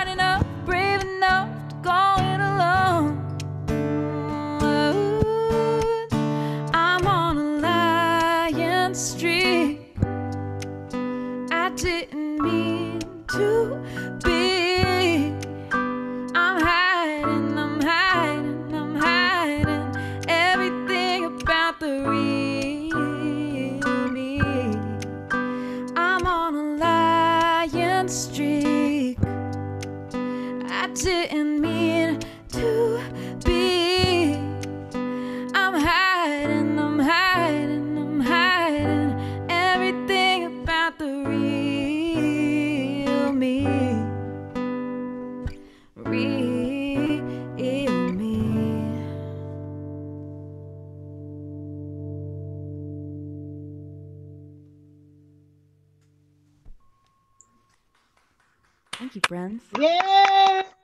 Yay, Lori! Thank you so much. Wonderful. Those those keys that you can see but not hear are my MIDI keyboard, by the way. I uh, I play both things. okay, this is um this is a song called Full Moon Charm Bracelet. It's the first track on my new album Shadow Work, which is everywhere. If you want to hear it, it's on the Spotify's and the iTunes, and it's going to be on vinyl. It's the first time I ever released something on vinyl. Um, that's a pre-order right now on my website. But um, if you enjoy it, please find me. Please seek me out. Please let me come sing to you. Again, I do a live stream every Monday night called Monday Night Muses, and um, I play around as much as I possibly can. That sounded dirty, but I meant it in a very wholesome way. this is a song called Full Moon Charm Bracelet, and uh, it's about letting go, which I am very bad at.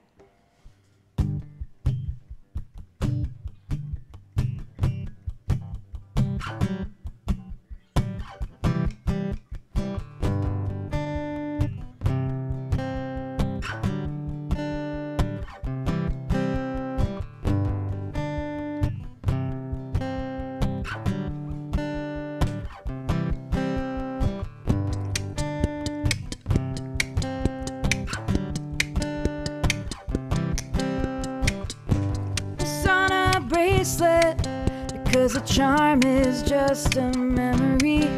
Now I have had all I can take of suffering and sacrifice. Now I am not helping one single being. When I count myself out, I am not doing myself a service when I push it all down.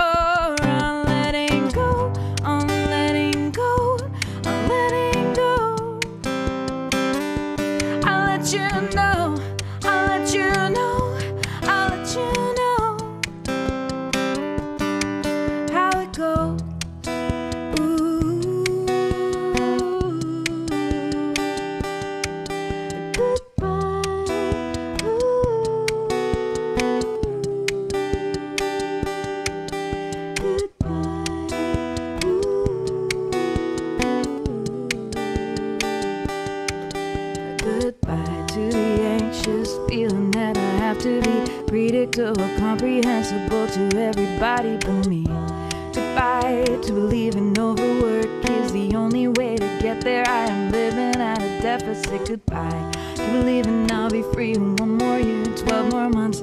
Fighting till, the stories get thin enough to let me out. Magic moments never come, so fine, I make the magic myself.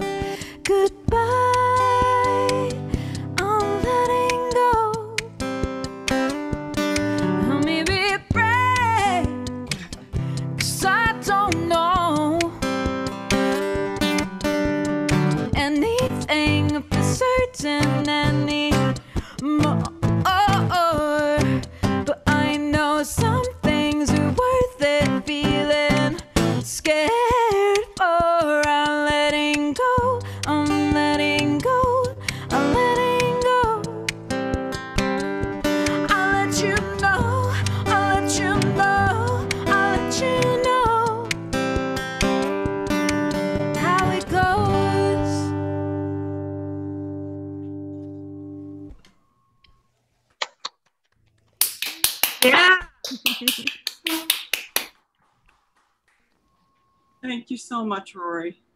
Thank you. Thank you, Sheela. Thank you for all the hard work you do in putting this together every year. I've watched a lot of them. I've watched a lot of them come together. I know how much goes in behind the scenes. Thank you. And like I said, you've been very generous with your time over the years, and I really, really appreciate it. And I really enjoy every time I get to listen to you. Yes, yes. Does the audience? You were getting so many great comments. Mm-hmm. By the way, Yep. shout out to my friend Diggy Cat in the Facebook chat. That's him with the shocked cat emoji. I, I just want you to know that here in the Zoom chat, Diggy Cat, we wrote out shocked cat emoji for you. so we could see that comment.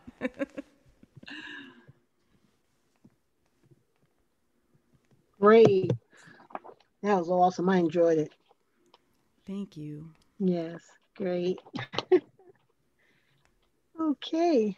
Um all right. From speculative fiction comes Children of Fury, Dog Nation Volume 3 by Rashid Darden, Old Gold Soul Press. For the children of Pomegranate Place, there is little difference between ordinary and extraordinary terror. Monsters have taken hold of this struggling neighborhood. A mysterious teacher, Kyron Towers, comes out of full of hiding to fulfill his timeless mission. Train an army that will fight the dark forces lurking beneath Washington streets. Young men and women, ignored by the world and touched by unspeakable horror, will be transformed in preparation for the battle against primordial evil. Rashid Darden is an award winning best selling novelist of the urban LGBT experience.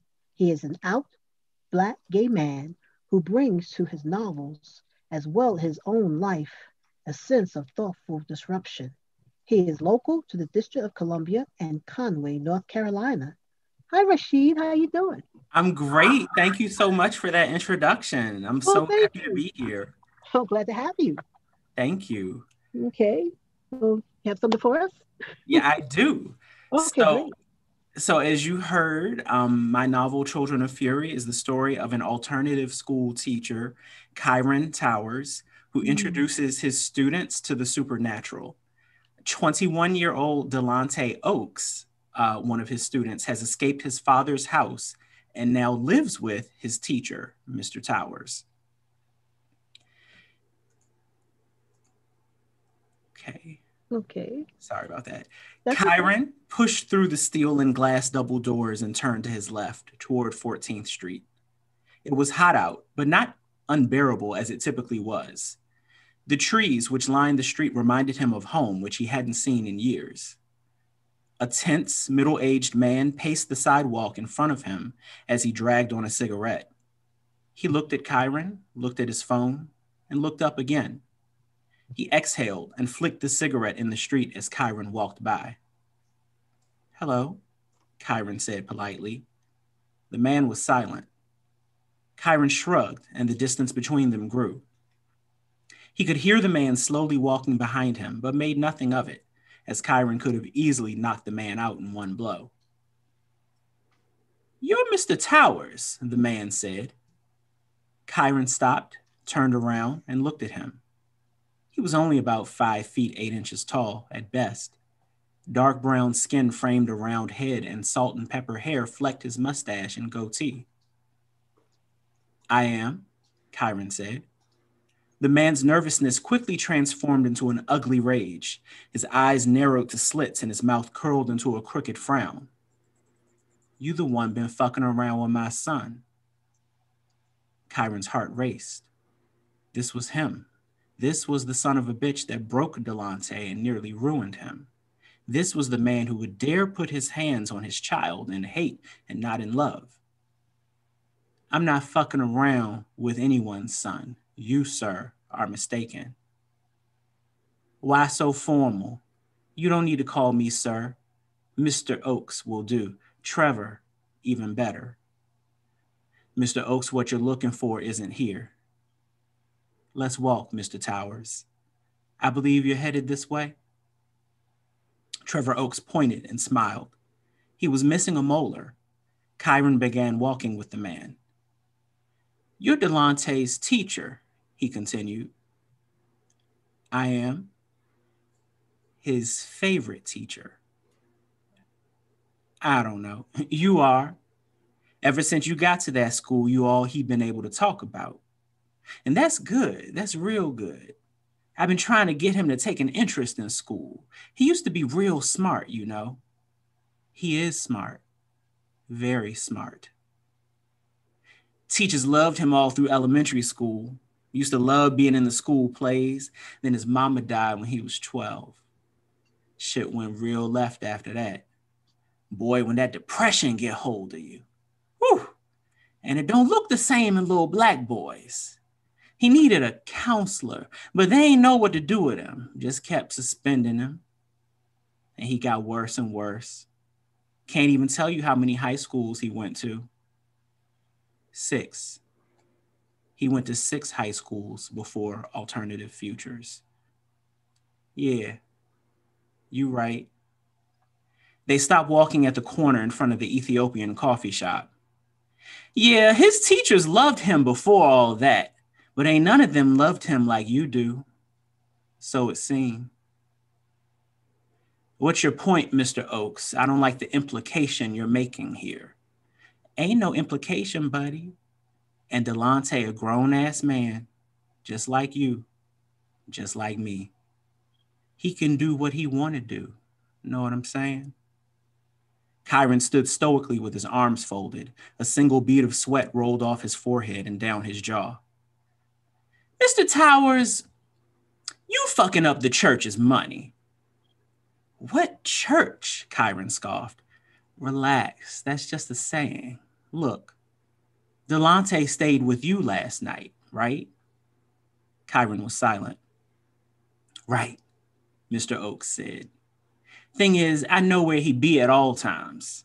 He don't know it, but I know it. That's why I don't worry about him. But when it comes to my money, I worry. What money? What are you talking about? you really don't know, do you? Mr. Oakes laughed. I don't see the humor. Delante, a working boy. Them things he do with you for free, he get paid for everywhere else. Thank you.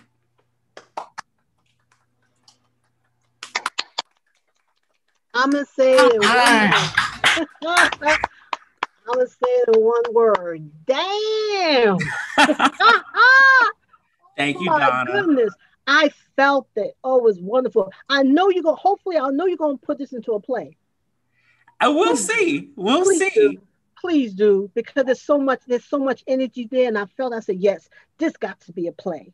Well, Yes. there's there's no limits, and and thank you so much to uh, to you and to Sheela and everybody else, all this talent that's assembled here today. This is just really inspiring. Thank you so Mhm. much. Thank you, Sheela. So, uh, oh, thank you, Donna. Um, okay, so now I'd like to announce two new programs uh, the Bi Arts Group and the Bi Writers Conference.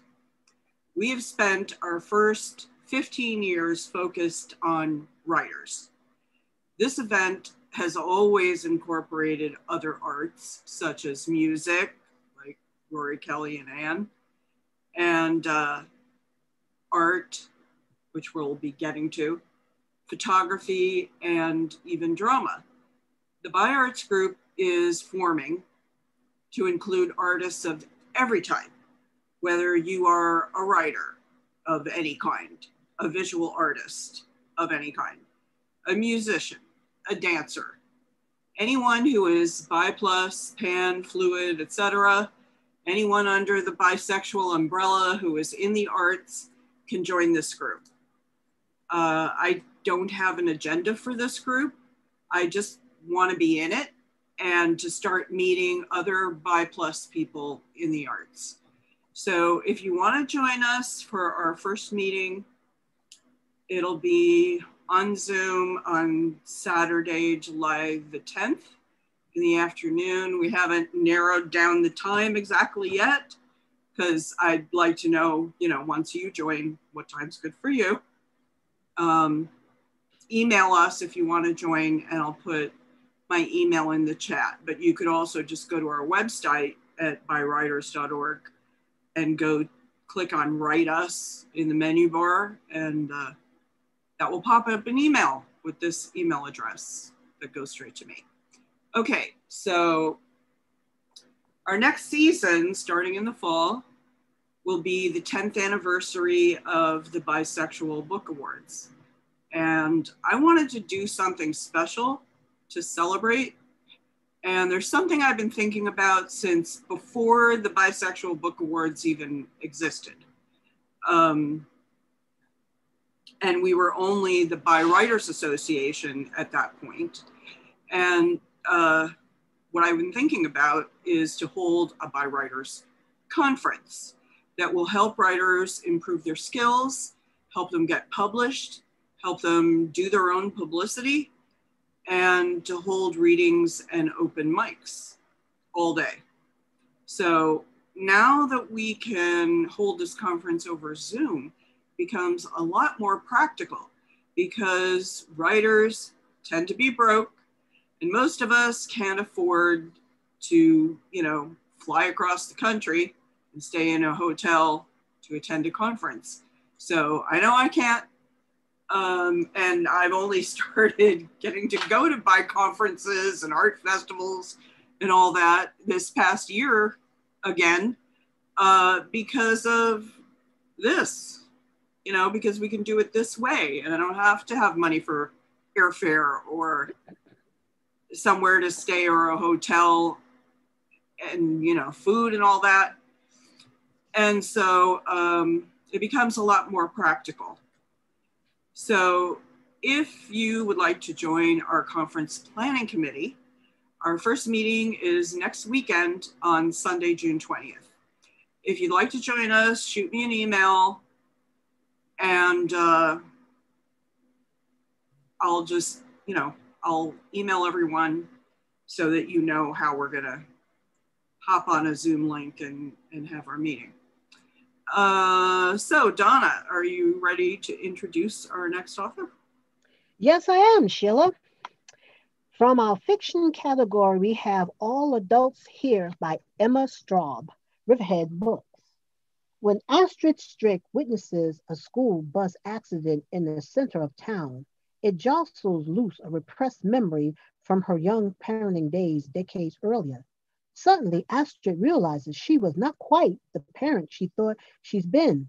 to her three now grown children. But to what consequence? Emma Straub is the New York Times bestselling author of three other novels The Vacationers, excuse me, Modern Lovers, Laura's Lamont's Life in Pictures, and the short story collection Other People We Married. Her books have been published in 20 countries. Awesome. She she and her husband own Books Are Magic, an independent bookstore in Brooklyn, New York. I didn't know that. Go, girl. Emma, how you doing? Hi. okay. So, won't you um do a little bit of something for us? I will, Donna. I also want to say hello to Garfield, who I've been admiring. Oh, my baby. Yes, this is Garfield.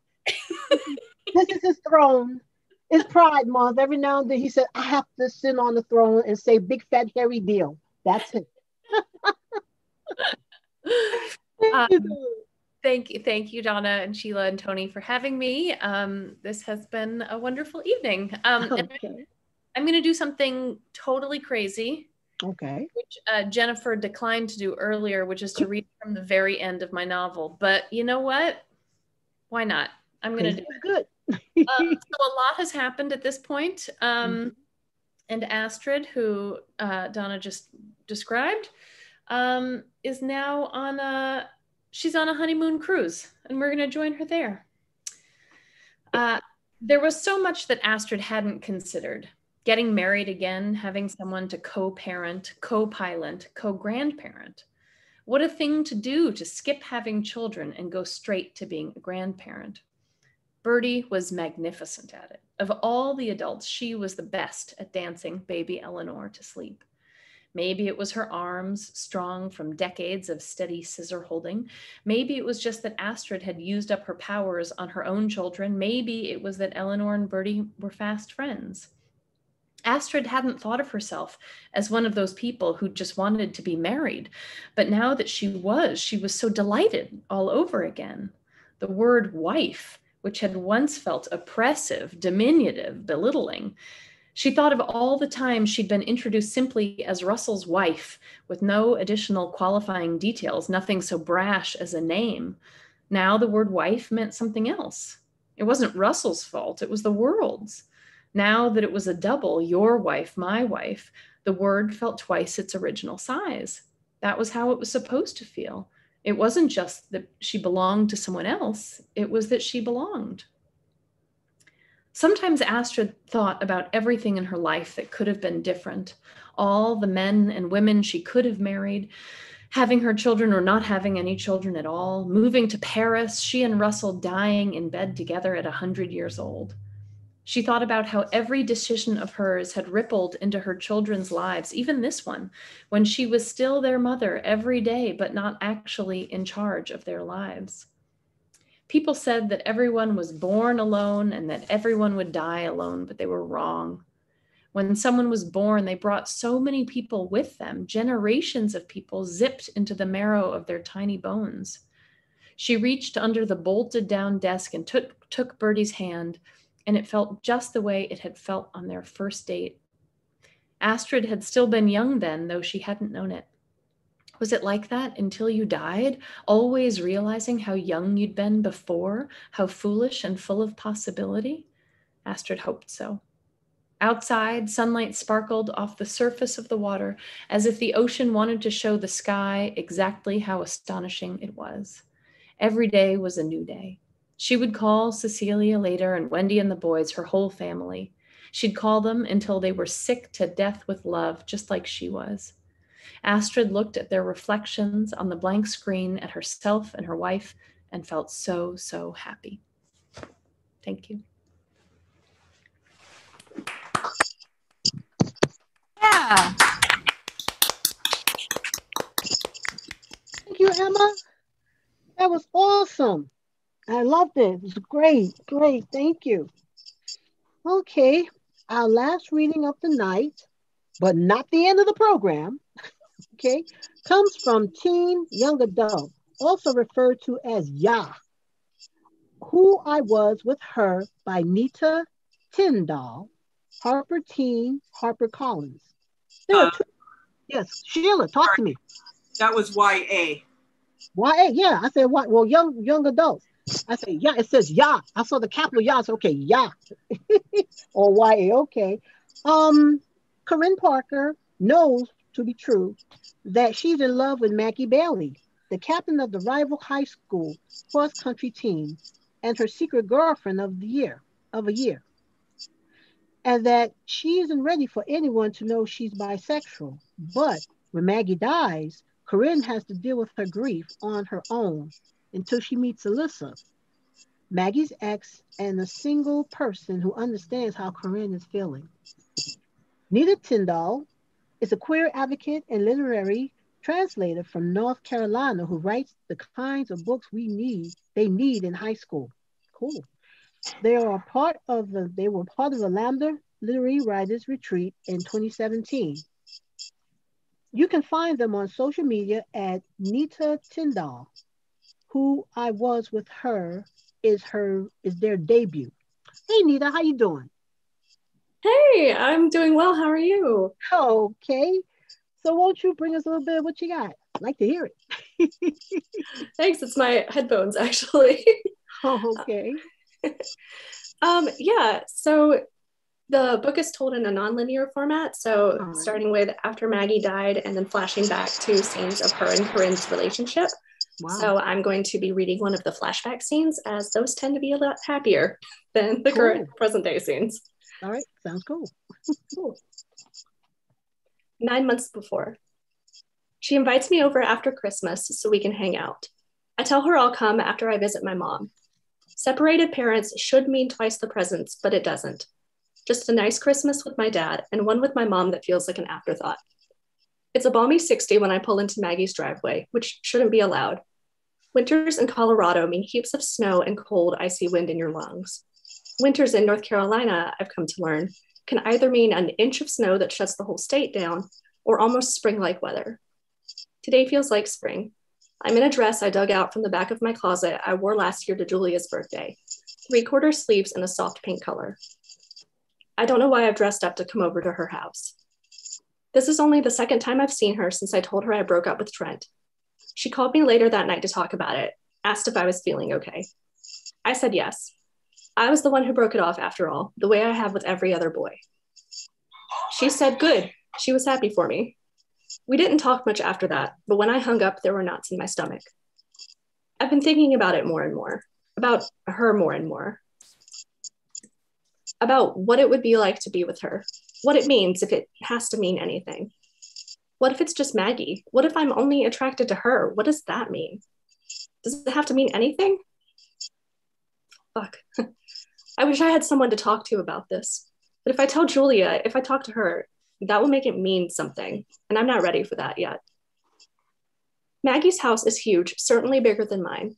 She has a front porch and columns, old school Southern charm. There are no cars in the driveway except hers, but I try not to think about that. She opens the door and immediately hugs me, curly hair pulled back in a ponytail. She's in a t shirt and a pair of shorts that must have been her brother's. Hi, she says, pulling back and tucking a stray strand of hair behind her ear, her face suddenly red. Did did you have a good Christmas? Yeah, I say. I don't look directly at her, and she looks down at her feet. I'm still standing on her porch. Can I come in? I ask, and she laughs nervously. Yeah, come on, let me show you around. She doesn't, though. We pass by grand rooms and she just tosses out what they are kitchen, living room, dad's office. We stop at the door to her basement, her bonus room, as she calls it. The second we step in, I immediately understand why she calls it that. It's not a basement like at my house, concrete floor and boxes from when we moved. It's got a carpet, a couch, a pool table, and a large TV with a crap ton of video games. I follow her down the stairs does it embarrass her having all this stuff? It would embarrass me, but she seems almost comfortable in it. That's the thing about her. She's comfortable in any environment. Running, coffee with me. She's at ease, all smiles and charm, and I'm the girl standing awkwardly to the side who doesn't know what to do with her hands. Sure, I'm not that way at school where I know my place, with the girls on the team by Julia's side. But put me somewhere unfamiliar? Forget it. Maggie sits down on the couch, tucks her feet up under her, and begins fiddling with the remote. So, um, anything nice for Christmas? I ask as I sit down on the opposite end of the couch. She shrugs. New running stuff mostly. You? I shrug. Um, Dad got me some stuff from Colorado you can only find there, snacks and stuff. Do you miss it? She asks earnestly, looking at me with wide eyes like she really wants to know. She leans forward, and I look up at her for the first time, and my gaze immediately lands on her lips. What am I doing? A girl is sitting in front of me, and I like her, and I don't have a boyfriend. And I'm sitting here talking about Christmas like it's the most important thing in the world, and there is a whole freaking couch cushion between us, and I want to kiss her. Sometimes I say, and look down at my hands at her purple couch, because if I don't, the couch squeaks as it shifts, and I look up and she's moved, so she's sitting right next to me. And I, I'm staring at her lips again. Corinne, she says, and her voice is soft and hesitant and unsure. And I lean forward and kiss her before I won't let myself take the chance anymore. It's quick, a barely there kiss, but my heart beats frantically like it's trying to come out of my chest. Her eyes meet mine. I can't read them, can't read her expression because the only thing I'm thinking right now is I kissed her, I kissed her, I kissed her. And then she leans forward and kisses me back.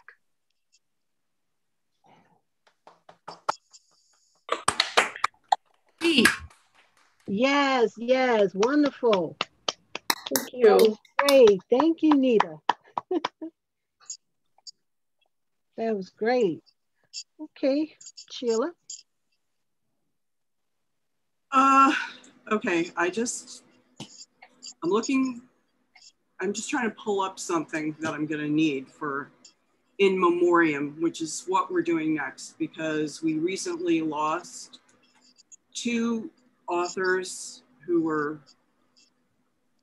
you know, close to this program. They had both read from their books on our program. Well, one on, on the Bi Writers, the very first Writers uh, Bisexual Book Awards, and the other one before we had the book awards when we were just doing the readings uh, for for bi authors who were coming in from the for the Lammies, uh, you know, because they now have we lobbied them to have a bi book category.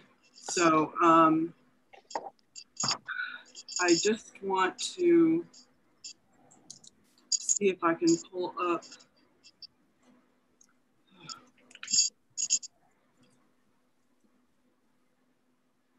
My computer is old and slow and it doesn't want to cooperate right now.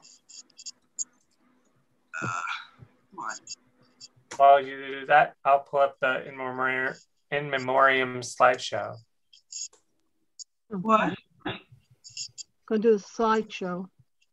Slideshow. I mean, I'm trying to pu- pull up my page for LinkedIn, and it's just, uh, I don't know, there's like a blue thing going back and forth, back and forth, and back and forth, and nothing's happening. Well, while it's load, let's do the first person. Okay. Um,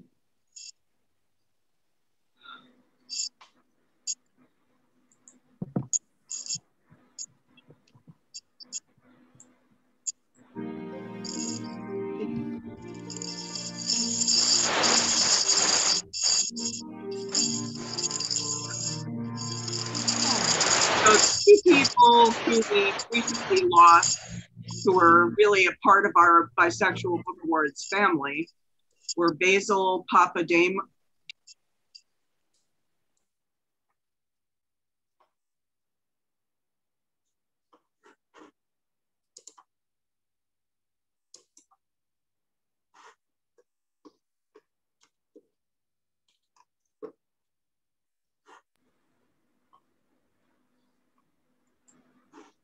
Oh, God.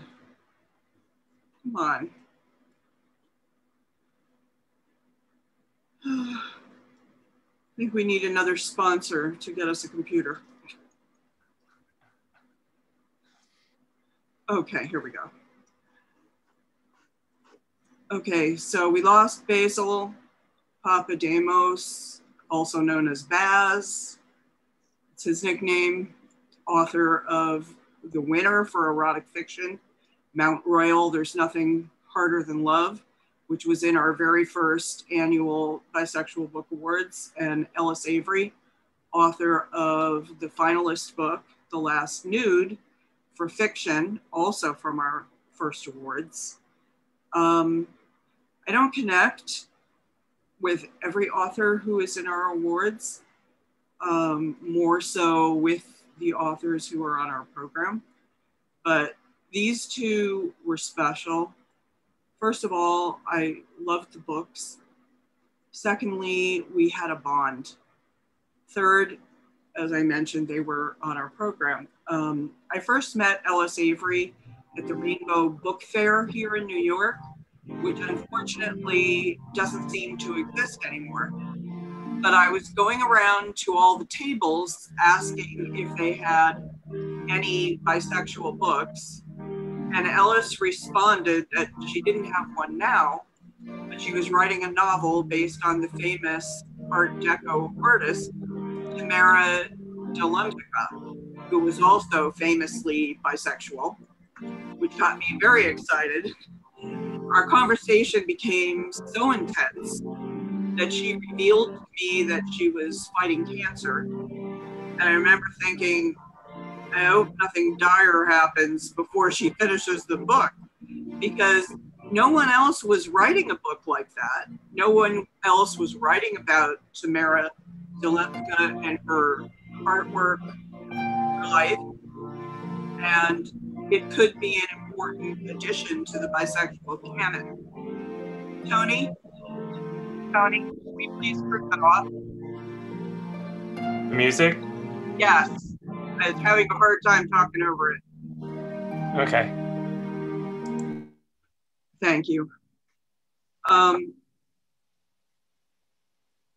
so, you know, I wanted that book to become part of the bisexual canon because it fills a hole that existed at the time. And it's a good thing I jumped the gun and invited her to read from The Last Nude in a bylines reading the year before the first Bisexual Book Awards. And that her book was ultimately entered in. But the next year, she wasn't available to come back to be on our program, and we would have missed her if I hadn't have been so anxious to get her get her in. So I I should probably mention that Ellis Avery was a lesbian, but she provided an important book about a bisexual artist and her bisexual model who became a celebrity through being de model.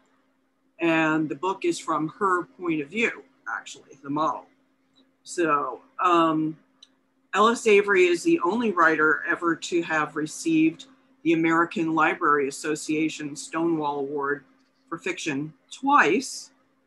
Avery is the author of two novels, a memoir, and a book of poetry.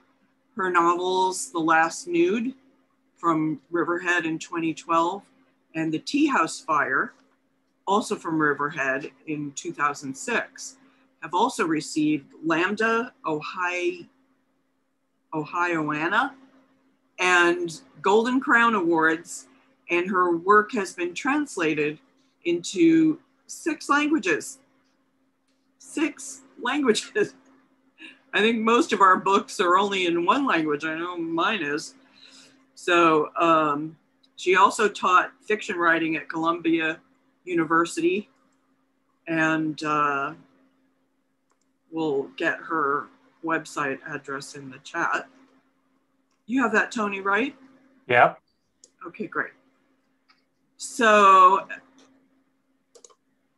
I want to read this little part from Wikipedia, um, and you'll see why.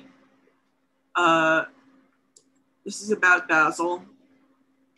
Basil Papademos was a Canadian writer. He is best known for his 2012 novel, Mount Royal, which won the award for Best Erotic Novel at the 2013 Bisexual Book Awards and was a nominee in the novels category at the 2013 Relit Awards.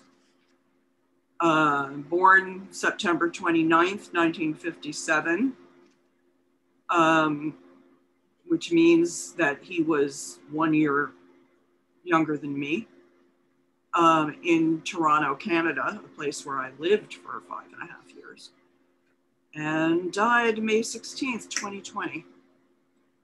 So, roughly a year ago um, from COVID.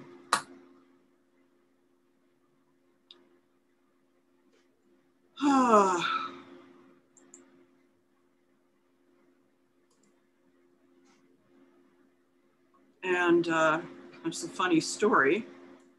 Just want to see if I can get that conversation pulled up now. Is this me? Yeah. Okay.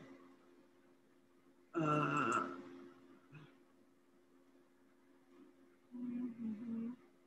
okay. So, um,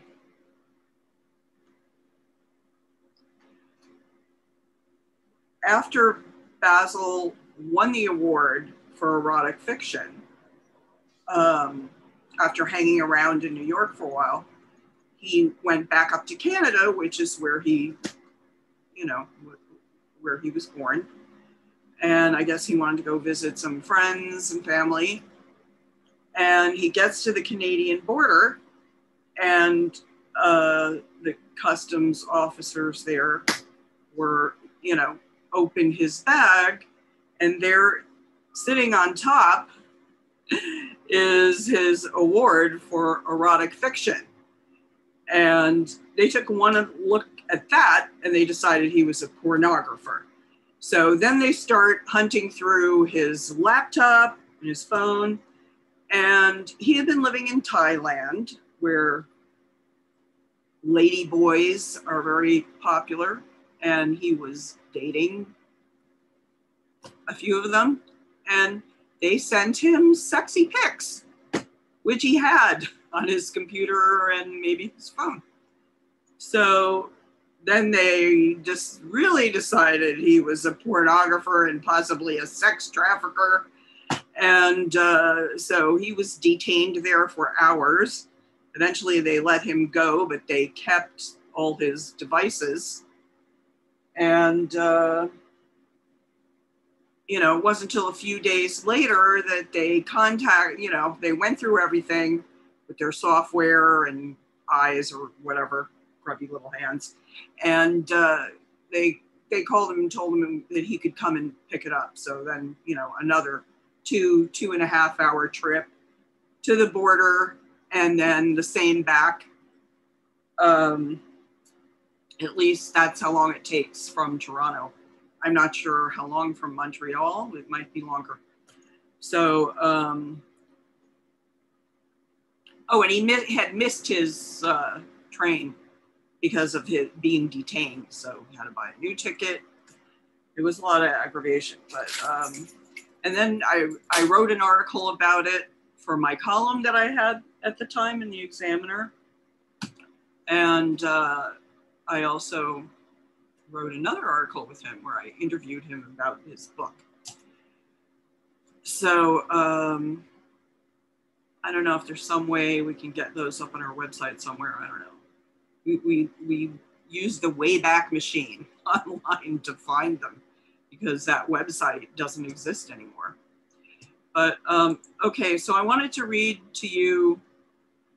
Basil and I had, you know, we used to communicate back and forth um, from time to time. And um, so I wanted to read some of that to you. And so uh, I, you know how LinkedIn always tells you, oh, it's someone's anniversary or they got a new job. So I wrote, uh, congratulations on your new position. And Basil wrote back, hey, Sheela, thanks. Hope things are going great. Baz. And so I wrote, wow, Canada Council for the Arts, that's a big deal. What is your position there? Are you back in Canada or do you not need to be in the country? Hi, Sheela. Not sure why it shows up as a job. I got a grant from CC, I guess that's some Canadian thing, to finish a novel I've been writing about working for a US NGO in Greece during the massive refugee wave caused by years of Western imperialist wars. No drugs this time, and only sex is the result of human trafficking that victimized women and kids. No title yet. I was funded for a year to give me time to do this. I guess word got around because an agency called the Rights Factory is asking if I have a rep. But I've got to finish writing the things first. So how you doing? What's happening? I've been living in North Thailand, working on a couple projects here, but I'm moving to Athens in a couple months. Let me know what you're up to. XO, XO, XO, Baz. Canada is great with arts grants. Wish it was the same here. Why are you moving to Athens? Sounds intriguing. XO Sheela. Hi, sorry for delay in replying. I've been up at Thai Myanmar border working at couple refugee camps. No headlines ever, but civil war in Myanmar continues in some locales on a low turf fight type level. This was before before everybody knew what was going on. I mean, now everybody knows, but um, basically, drug lords that press gang villagers to fight for them or process narcotics. The refugee issue in Greece is growing again, and there's a big Euro NGO that's asked if I want to work there since I speak Greek and my family is from the region where the refugees are crossing. Wish I was in New York to go out to a decent non hetero bar Hope you're well, darling. XOXO Baz. Sounds fascinating, although horrible. Everyone is wondering what is going on in Myanmar. So very topical.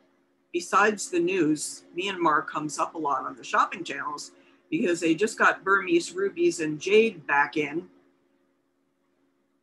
because, well, never mind, because they lifted the embargo that was on there for like, I don't know, eight years or something. And now another embargo is sure to hit. Good luck with your new job and your novel. I hope it's something that can be submitted to the Bisexual Book Awards, of course, but if not, good luck anyway. No, no consensuals in this one, but some stuff about how groomers and recruiters would approach lone kids in the camps to get them away from the place, and then they're lost in Europe's human trafficking networks. It's profoundly evil stuff and hard to think about. Sometimes you just don't want to know. The Rohingya situation is pretty sickening. Western powers installed Aung San Suu Kyi, and she was supposed to bring the new enlightenment, but she barely said a word about the genocide. The whole story is beyond depraved. I may actually, I may actually stop in Toronto and NYC on my way to Greece. If I do, let's try to meet up for a drink. I miss the States in a way, the mix of ideas and people, well, in certain places. Thailand is bizarre. They're so officially prim and moral, yet it's a sex tourist paradise. Money first, I guess. I would love to get that drink with you. Hope you can make it here. Just let me know when. Will do. Basil, I tried to friend you on FB and it appears you are dead. Please tell me that was some other Basil. The last name was one letter off, but Toronto and Montreal were mentioned. But no mention of your books or Thailand. You supposedly died of COVID. Not sure if it's you. Please tell me it's not.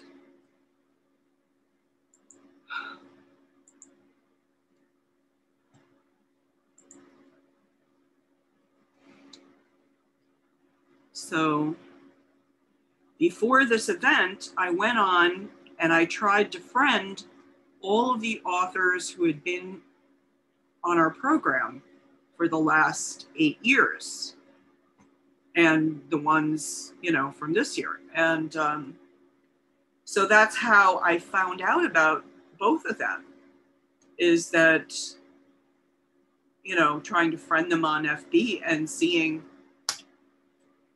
finding finding this out, which was a real shock, and because uh, they're both, you know, so young to be dead, and you know they were both so talented, and I feel that you know they could have written so many more books. And uh, Ellis was also a writing teacher at university. I think I we might have mentioned that. Um, and the, obviously the work Basil was doing, which I should have mentioned previously. I mean, the book that he put out that we had, well, you know, it was it won erotic fiction, but it was a book all about sex and drugs in Montreal. and, uh, you know, a gr- ragtag kind of group of friends who were living sort of on the margins and, uh, but had like a really beautiful kind of um, connection with each other. And, uh, yeah. So, you know, the work that he was talking about on LinkedIn is not necessarily what you would expect from someone who's writing about sex and drugs. but, uh, you know, he, was a many faceted person. So, um, okay. I guess that's it for that which means that we're announcing who won awards. Tony? Did we ever get the violin music or are we proceed? So let's, before we do awards, let's all take like a quick three minute intermission. We'll look at some art oh, yeah. from, um, from the book Ceremonials I'll put on some Ma Rainey, and we'll and we'll be right back in three minutes for the book awards. All right. Thank you, Tony.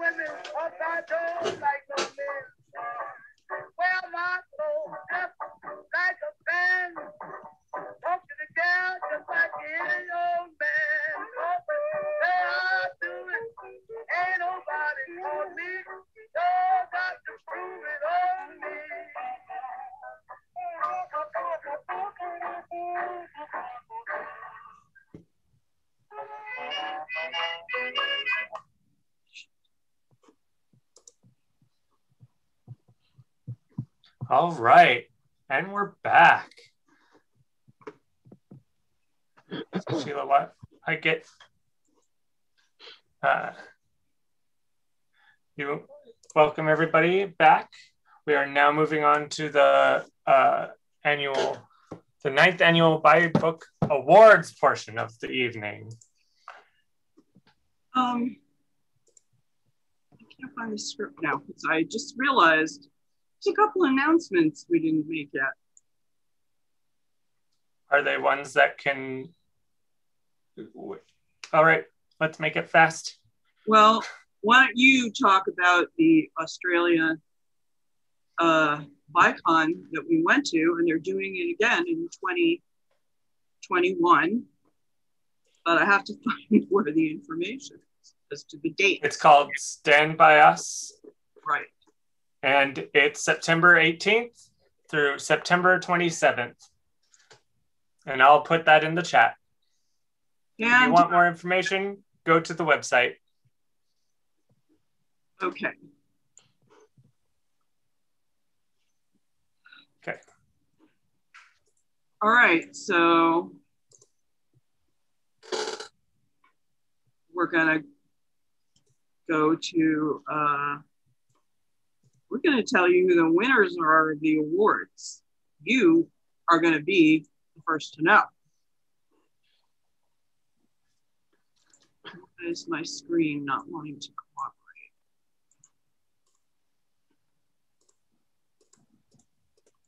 Why is this not going? Okay.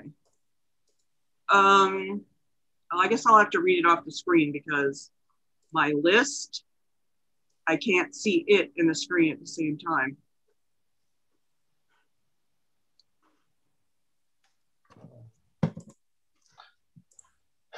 You know, the list is a lot easier Okay. to deal with. We got this. Second time's a try. Okay.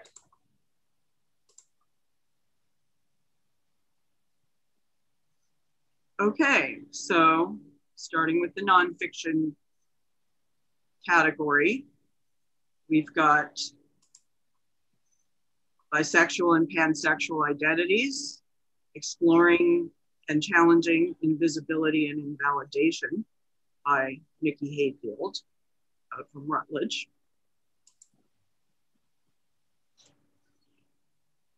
And we have bisexuality in Europe, sexual citizenship, romantic relationships, and bi plus identities, edited by Emiel Maliepaard and Renate Baumgartner, also from Routledge.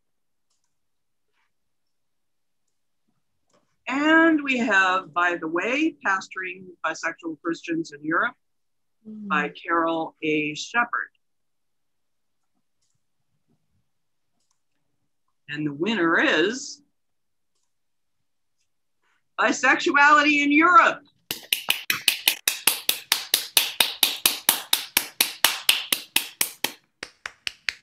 Congratulations to Emiel and Ren- Renate. Why am I seeing Rorie? Uh, thank you so much, uh, Sheela. Wonderful! Like, right here, Can you see it? I can't tell because it's not showing me it. Oh, now, yeah. Thank you, Sheela. Thank This you so much. This means nonfiction award, and it says Bisexual Book Awards winner, nonfiction. I guess you'll have to share custody. Maybe Renate, you can have it for the first six months, and Emiel can have it. Exactly. Lovely. Thank you. Thank you all. Tony, would you like to do the next one, memoir biography? Sure. So next category is uh, we've got memoir, biography, and finalists. First, we've got The Fixed Stars, a memoir by Molly Wizenberg. Wizenberg. Uh, I don't see who the publisher is. Abrams Press. Then we've got Frida in America by Celia Stahr, St. Martin's Press, and Macmillan. We've got Rust Belt Femme by Raechel Anne Jolie, Belt Publishing. Okay. And the winner is The Fixed Stars by Molly Wizenberg, Abrams Press.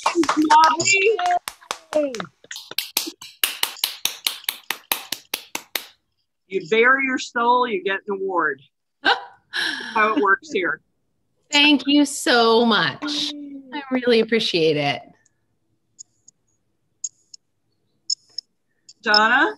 Yeah, yeah. Can you, oh, here, here's your award. Right here. Oh, lovely. Thank you so much, Sheela, for organizing all of this. Um, it is a real honor. Thank you. We can make arrangements to get that to you.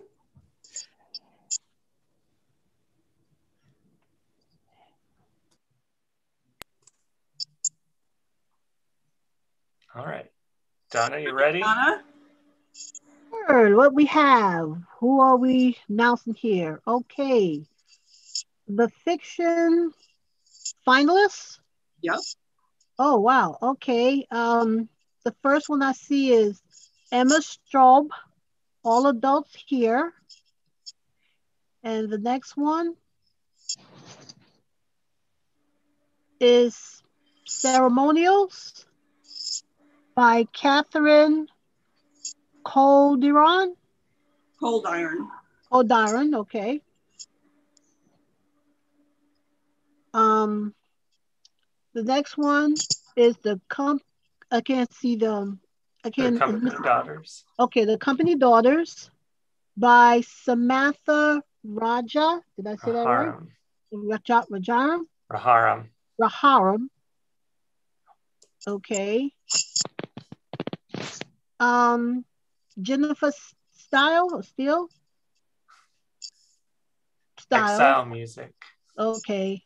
Jennifer Steil, a novel, Exile Music, and Starling Days by, I can't read, um, it's being blocked. The, is by who? Rowan Hisayo Buchanan. Okay. Rowan Sal Buchanan and you exist too much. Okay, and this is by by the missing Zaina Arafat. Okay. The name Arafat. Okay, and the fiction, the award goes to da, da, da, da, da, da, da, da. All Adults Here by Emma Straub, publisher of little book. Yay! Emma, come on down. You are a winner. Congratulations. Thank you. This is very surprising. I and you look like Garfield. He said you were going to win. Go ahead now. you know, Garfield, um, I've never won anything uh, before in my whole life. So thank you to Garfield, first and foremost. Wonderful. Well, Garfield, thanks you as well. Congratulations. Thank you. Thanks, everybody. Is there anything you'd like to say? Oh, where's the little award at? Got it? You you guys are allowed to give a short speech. I forgot to mention that. I won. I won. My my audience is um, coming to see what the commotion is about. Um, honestly, it, it never, it never, it truly never occurred to me that I would win. Um, this is, I mean, this is so much fun. Molly, I like my pal Molly. I feel like we're in a, an, an amazing club now. Um, and I, yeah, I, I don't know. I, I feel at a loss for words, which has truly never happened to me before. Um, so that's two things that have never happened to me before. So thank you. Oh, congratulations. Congratulations. Right, Sheela? Oh, it's my turn again. Okay. by the way, Tony put together this whole thing. That's great. Uh, Yay. Let's do the finalists. Okay, romance finalists. Where are we going? Who's first?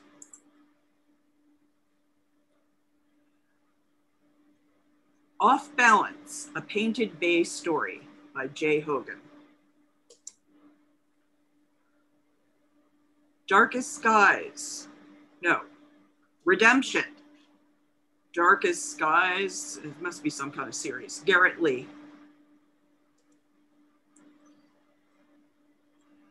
The Secret of You and Me. Melissa Lenhardt. The Sex Coach. Garrett Leigh.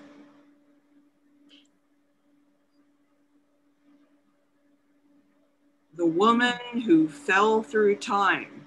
Fell, yeah. Hmm. Jam Frey. M. Fry. And the winner is Not yet, not yet.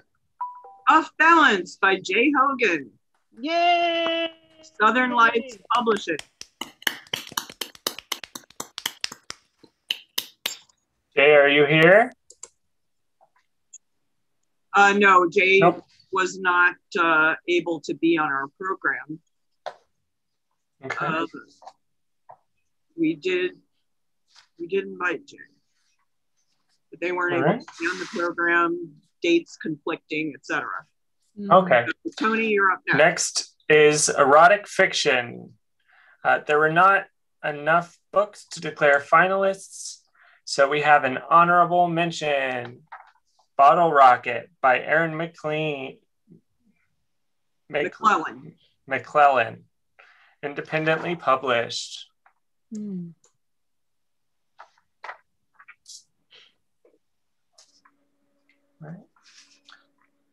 See this new logo here with the three the three books Mhm. and the the award. Tony and I worked on that together. Hmm. Uh, speculative fiction finalists. Okay. We've got Architects of Memory by Karen Osborne. Children of Fury, Dark Nation Volume 3, Old Gold Soul Press By Rashid by Dar- Rashid Darden. Uh, the Invisible Life of Addie LaRue by V.E. Schwab, Tor Books. Tom Doherty, Darty Association's Division of Macmillan Publishers. Plain Bad Heroines by Emily M. Danforth, William Morrow, hyper, published by William Morrow, Harper Collins. Uh, Queen of Noise by Lee Harlem, Harlen, a Neon Hemlock Press.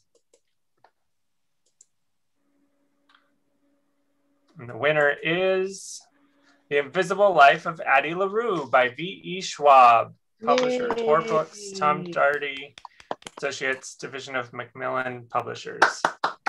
Yay! Yes. Uh, V.E. Schwab was not available on this date, so uh, we will let them know. All right. When. Donna, do you want to do young uh, adult fiction and teen? Sure, why not? Okay. Category Teen Young Adult Fiction Finalists. The first one, Gabrielle Harbowy, Harbowy, Harbowy, Hearts Are Jerks. Gabrielle, Hearts Are Jerks. Look, just because you see me doesn't mean you know me. A novel by Zan Romanoff. Only Mostly Devastated by Sophie Gonzalez. Who I Was with Her by Nita Tyndall. You Should See Me in the Crown by Leah Johnson. And the winner is for young teen young adults fiction is Oh, who I who I was with her by Nita Tyndall. Congratulations. Oh, yay! How are you? You go, Nita. Nita. Nita. Thanks, guys. Wonderful. Congratulations, Nita. Thank you. Like to say something? Look, I was like fully not prepared. I was sitting here thinking, man, I really loved it. You should see me in a crown. I'm wondering if it's gonna wear. Hey, here's your award. Oh, thank you. This is so exciting. Yeah, honestly, I I literally had nothing prepared. So okay. thanks, y'all. Congratulations. Thank you. Yay. All right, Sheela, you can do mystery. Okay. See what's happening here. Oh, Mm.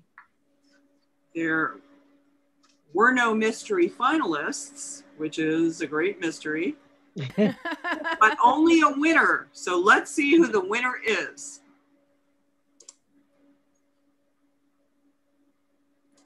And the winner is The Better Liar by Tanen Jones. Wow. Thank you guys. Uh, I I really appreciate um, the invitation to be here, and it is such an honor to be among so many wonderful writers. I, I love listening to your excerpts and your songs. Um, thank you so much. Congrats. Yay.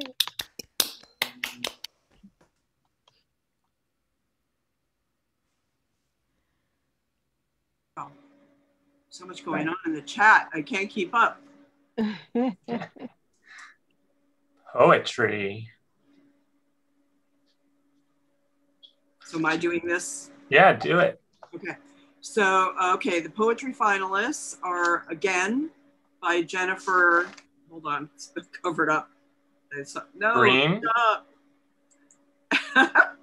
Jennifer Perrine. Things are popping up there. Okay. Who's next? Crown Noble by Bianca Phipps.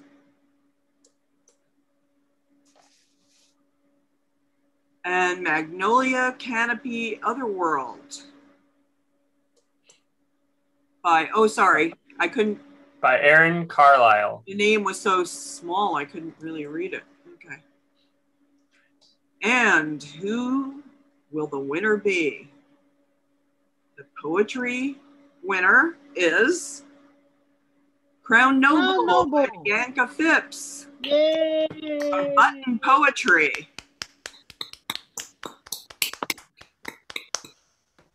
We had someone else here from Button Poetry not too long ago. It was very good. So, uh, congratulations. Mm-hmm. Okay, who wants to do this one? I'll do it. I'll it. do it. Oh, go Okay, ahead, go Tony. ahead. Are you sure? Yep. Okay. Um, the publisher of the year finalists: Macmillan, Macmillan, Penguin Random House. Sorry, Okay. I got behind. okay. Publisher of the year, ninth annual Bisexual Book Award winner is. Da, da, da, da, Macmillan. Macmillan! Woo! Yay! Yeah, we uh, base this on a few things. One is how many books did you submit to our awards? Oh. Not yet. What? Oh, sorry, we're going back. How bu- many books are you submit to our awards? Uh, how many are finalists and winners? And also, how do you treat your authors if we know anything about that? So, um, based on that information, Macmillan was the winner, and I'll be letting them know. Great. Okay. All right, Sheela. I'm doing the next. this one is mine. Okay, bi writer of the year finalists. Now we have like one before we start. The reason we have this award is, as you notice during this uh, program, that not only bisexual people are writing by bisexual books, bi themed books. They could be straight, they could be gay, they could be lesbian. And so we wanted to have one special award that we knew would be going to a bi writer. And um, someone who exemplifies our three criteria and who is a great writer and who digs deep. So here we go. Nikki Hayfield, bisexual and pansexual identities from Routledge. Jay Hogan, Off Balance, uh, who wrote Off Balance, a painted bay story. Samantha Irby, uh, who wrote Wow, No Thank You, which is a collection of her humorous essays. Mm. It's very funny. Um, Emiel Maliepaard and Renate Baumgartner, again, uh, Sexuality in Europe. Mm-hmm. Uh, Samantha Rajaram for Company Daughters. Celia Stahr for Frida in America.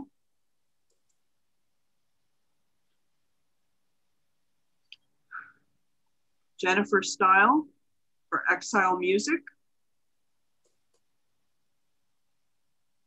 And Nita Tyndall for Who I Was with Her.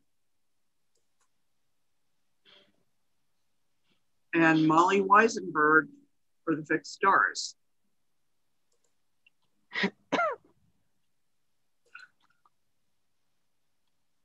And the bi writer of the year is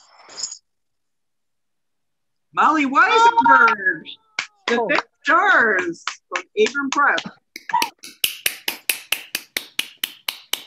This is all very surprising. Um, thank you, everybody. I'm sitting here with a bag of potato chips. It's been a delightful evening. Um, thank you so much, Sheela, and thank you, Tony. Thank you, Donna. Um, I'm just blown away. Thank you so much. Um, I feel so lucky to have been able to put this book out into the world and tell the story of my experience. Um, and anyway, congratulations to all of us who are here and who've been nominated. I loved celebrating with all of you. Well, congratulations. I mean, this is our biggest award of the year. And um, for us, it's a big deal. I, you know, decide who the finalists and the winner should be in consultation with other judges, what they've picked, but also my own opinions. And uh, you know, I felt like in this book, you really, I mean, there were so many great books. As you can see, I had a large field of finalists, but, you know, you, it was really hard to choose. You know, I wanted to have multiple winners, but, you know, your book, you really, you really went deep. You know, you were so self revealing. And, you know, I think that memoirs are sometimes the best way to help people understand bisexuality and to be able to, you know, relate it to a book to what they're going through in their life and in their thoughts. And, uh, you know, I really felt you you really took a risk, you know, and you you just kept going, and I really, you know, appreciate that. It's something that we need, but most of us are unable to do. You know, so um, Congratulations. Oh, thank you. That means the world. And um, yeah, I just feel really lucky to get to do it and to have had a publisher and an editor who supported me in telling that truth. So thank you. All right. Yay! I think Congratulations to everybody. Yes, congratulations, everybody. To Congratulations. the winners, to the finalists. Congratulations. And thank you so much, you know, for to all our performers for uh, being on our program and for making this evening so special. You know, after last year's one, which we we recorded this, right, Tony? Yeah. Okay, so I I watched the last one like three or four times that we did in in September, not our usual time of year due to COVID, but um, you know, because when I'm doing it, you know, I'm organizing everything. So part of my head is on that. And it's so great for me to be able to relax and watch the whole thing and have my full attention on it. Um, so I'm really happy that we're able to make this recording and, uh, you know, to be able to see it a few more times. Yeah. So before we head out for the night, we've got some quick thank yous that we want to shout out. Um, thanks to all of our judges, Pamela Auchenbach, uh, Louise Barr and Drake, uh, uh, Alyssa Clark, Laura Cotton, AJ Dolman, Duck Dow, Eliza Edwards, Shelly Feen, Elizabeth Fernandez, Laura Foley, uh, Heron Greensmith, um, Marie Hart, Hartong, uh, Jacob Hofstetler, Gwen Katz, Amanda Lester, Amy Le- Hannah McCann, Katina Noble, Peacemaker, Evan Peterson, Samantha Pius, Pearl Perry, Mark Papere, Jessica Ruffield, Liam Rogers, Pepper Solomon, Sarah Spilsbury, Natalie Strobe, Kanako Su, Sua, Lila Suzanne, Olivia Tompkins, Liz Wheeler, Olivia Wood, and Laura. Zielinski. Uh, a special thanks also to Tony Johnson, to Val Griffin, to Donna Redd, Catherine Gladhart Hayes, and Nicholas Medina. So from Bi Writers Association to all everybody watching on YouTube and Facebook, thank you and have a lovely evening. For those still, for those of you writers, we'd like to take a, another shot of everybody before we head out. Have a good night, everybody. Good night, everybody. See you next year. Love you all. Yes.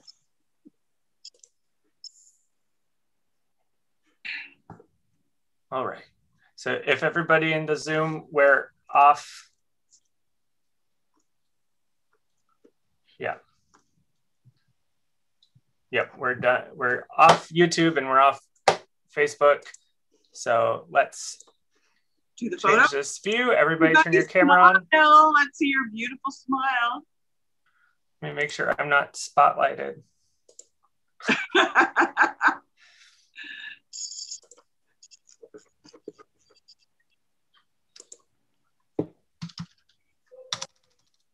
All right. Everybody ready? Yep. All right. One, two, three.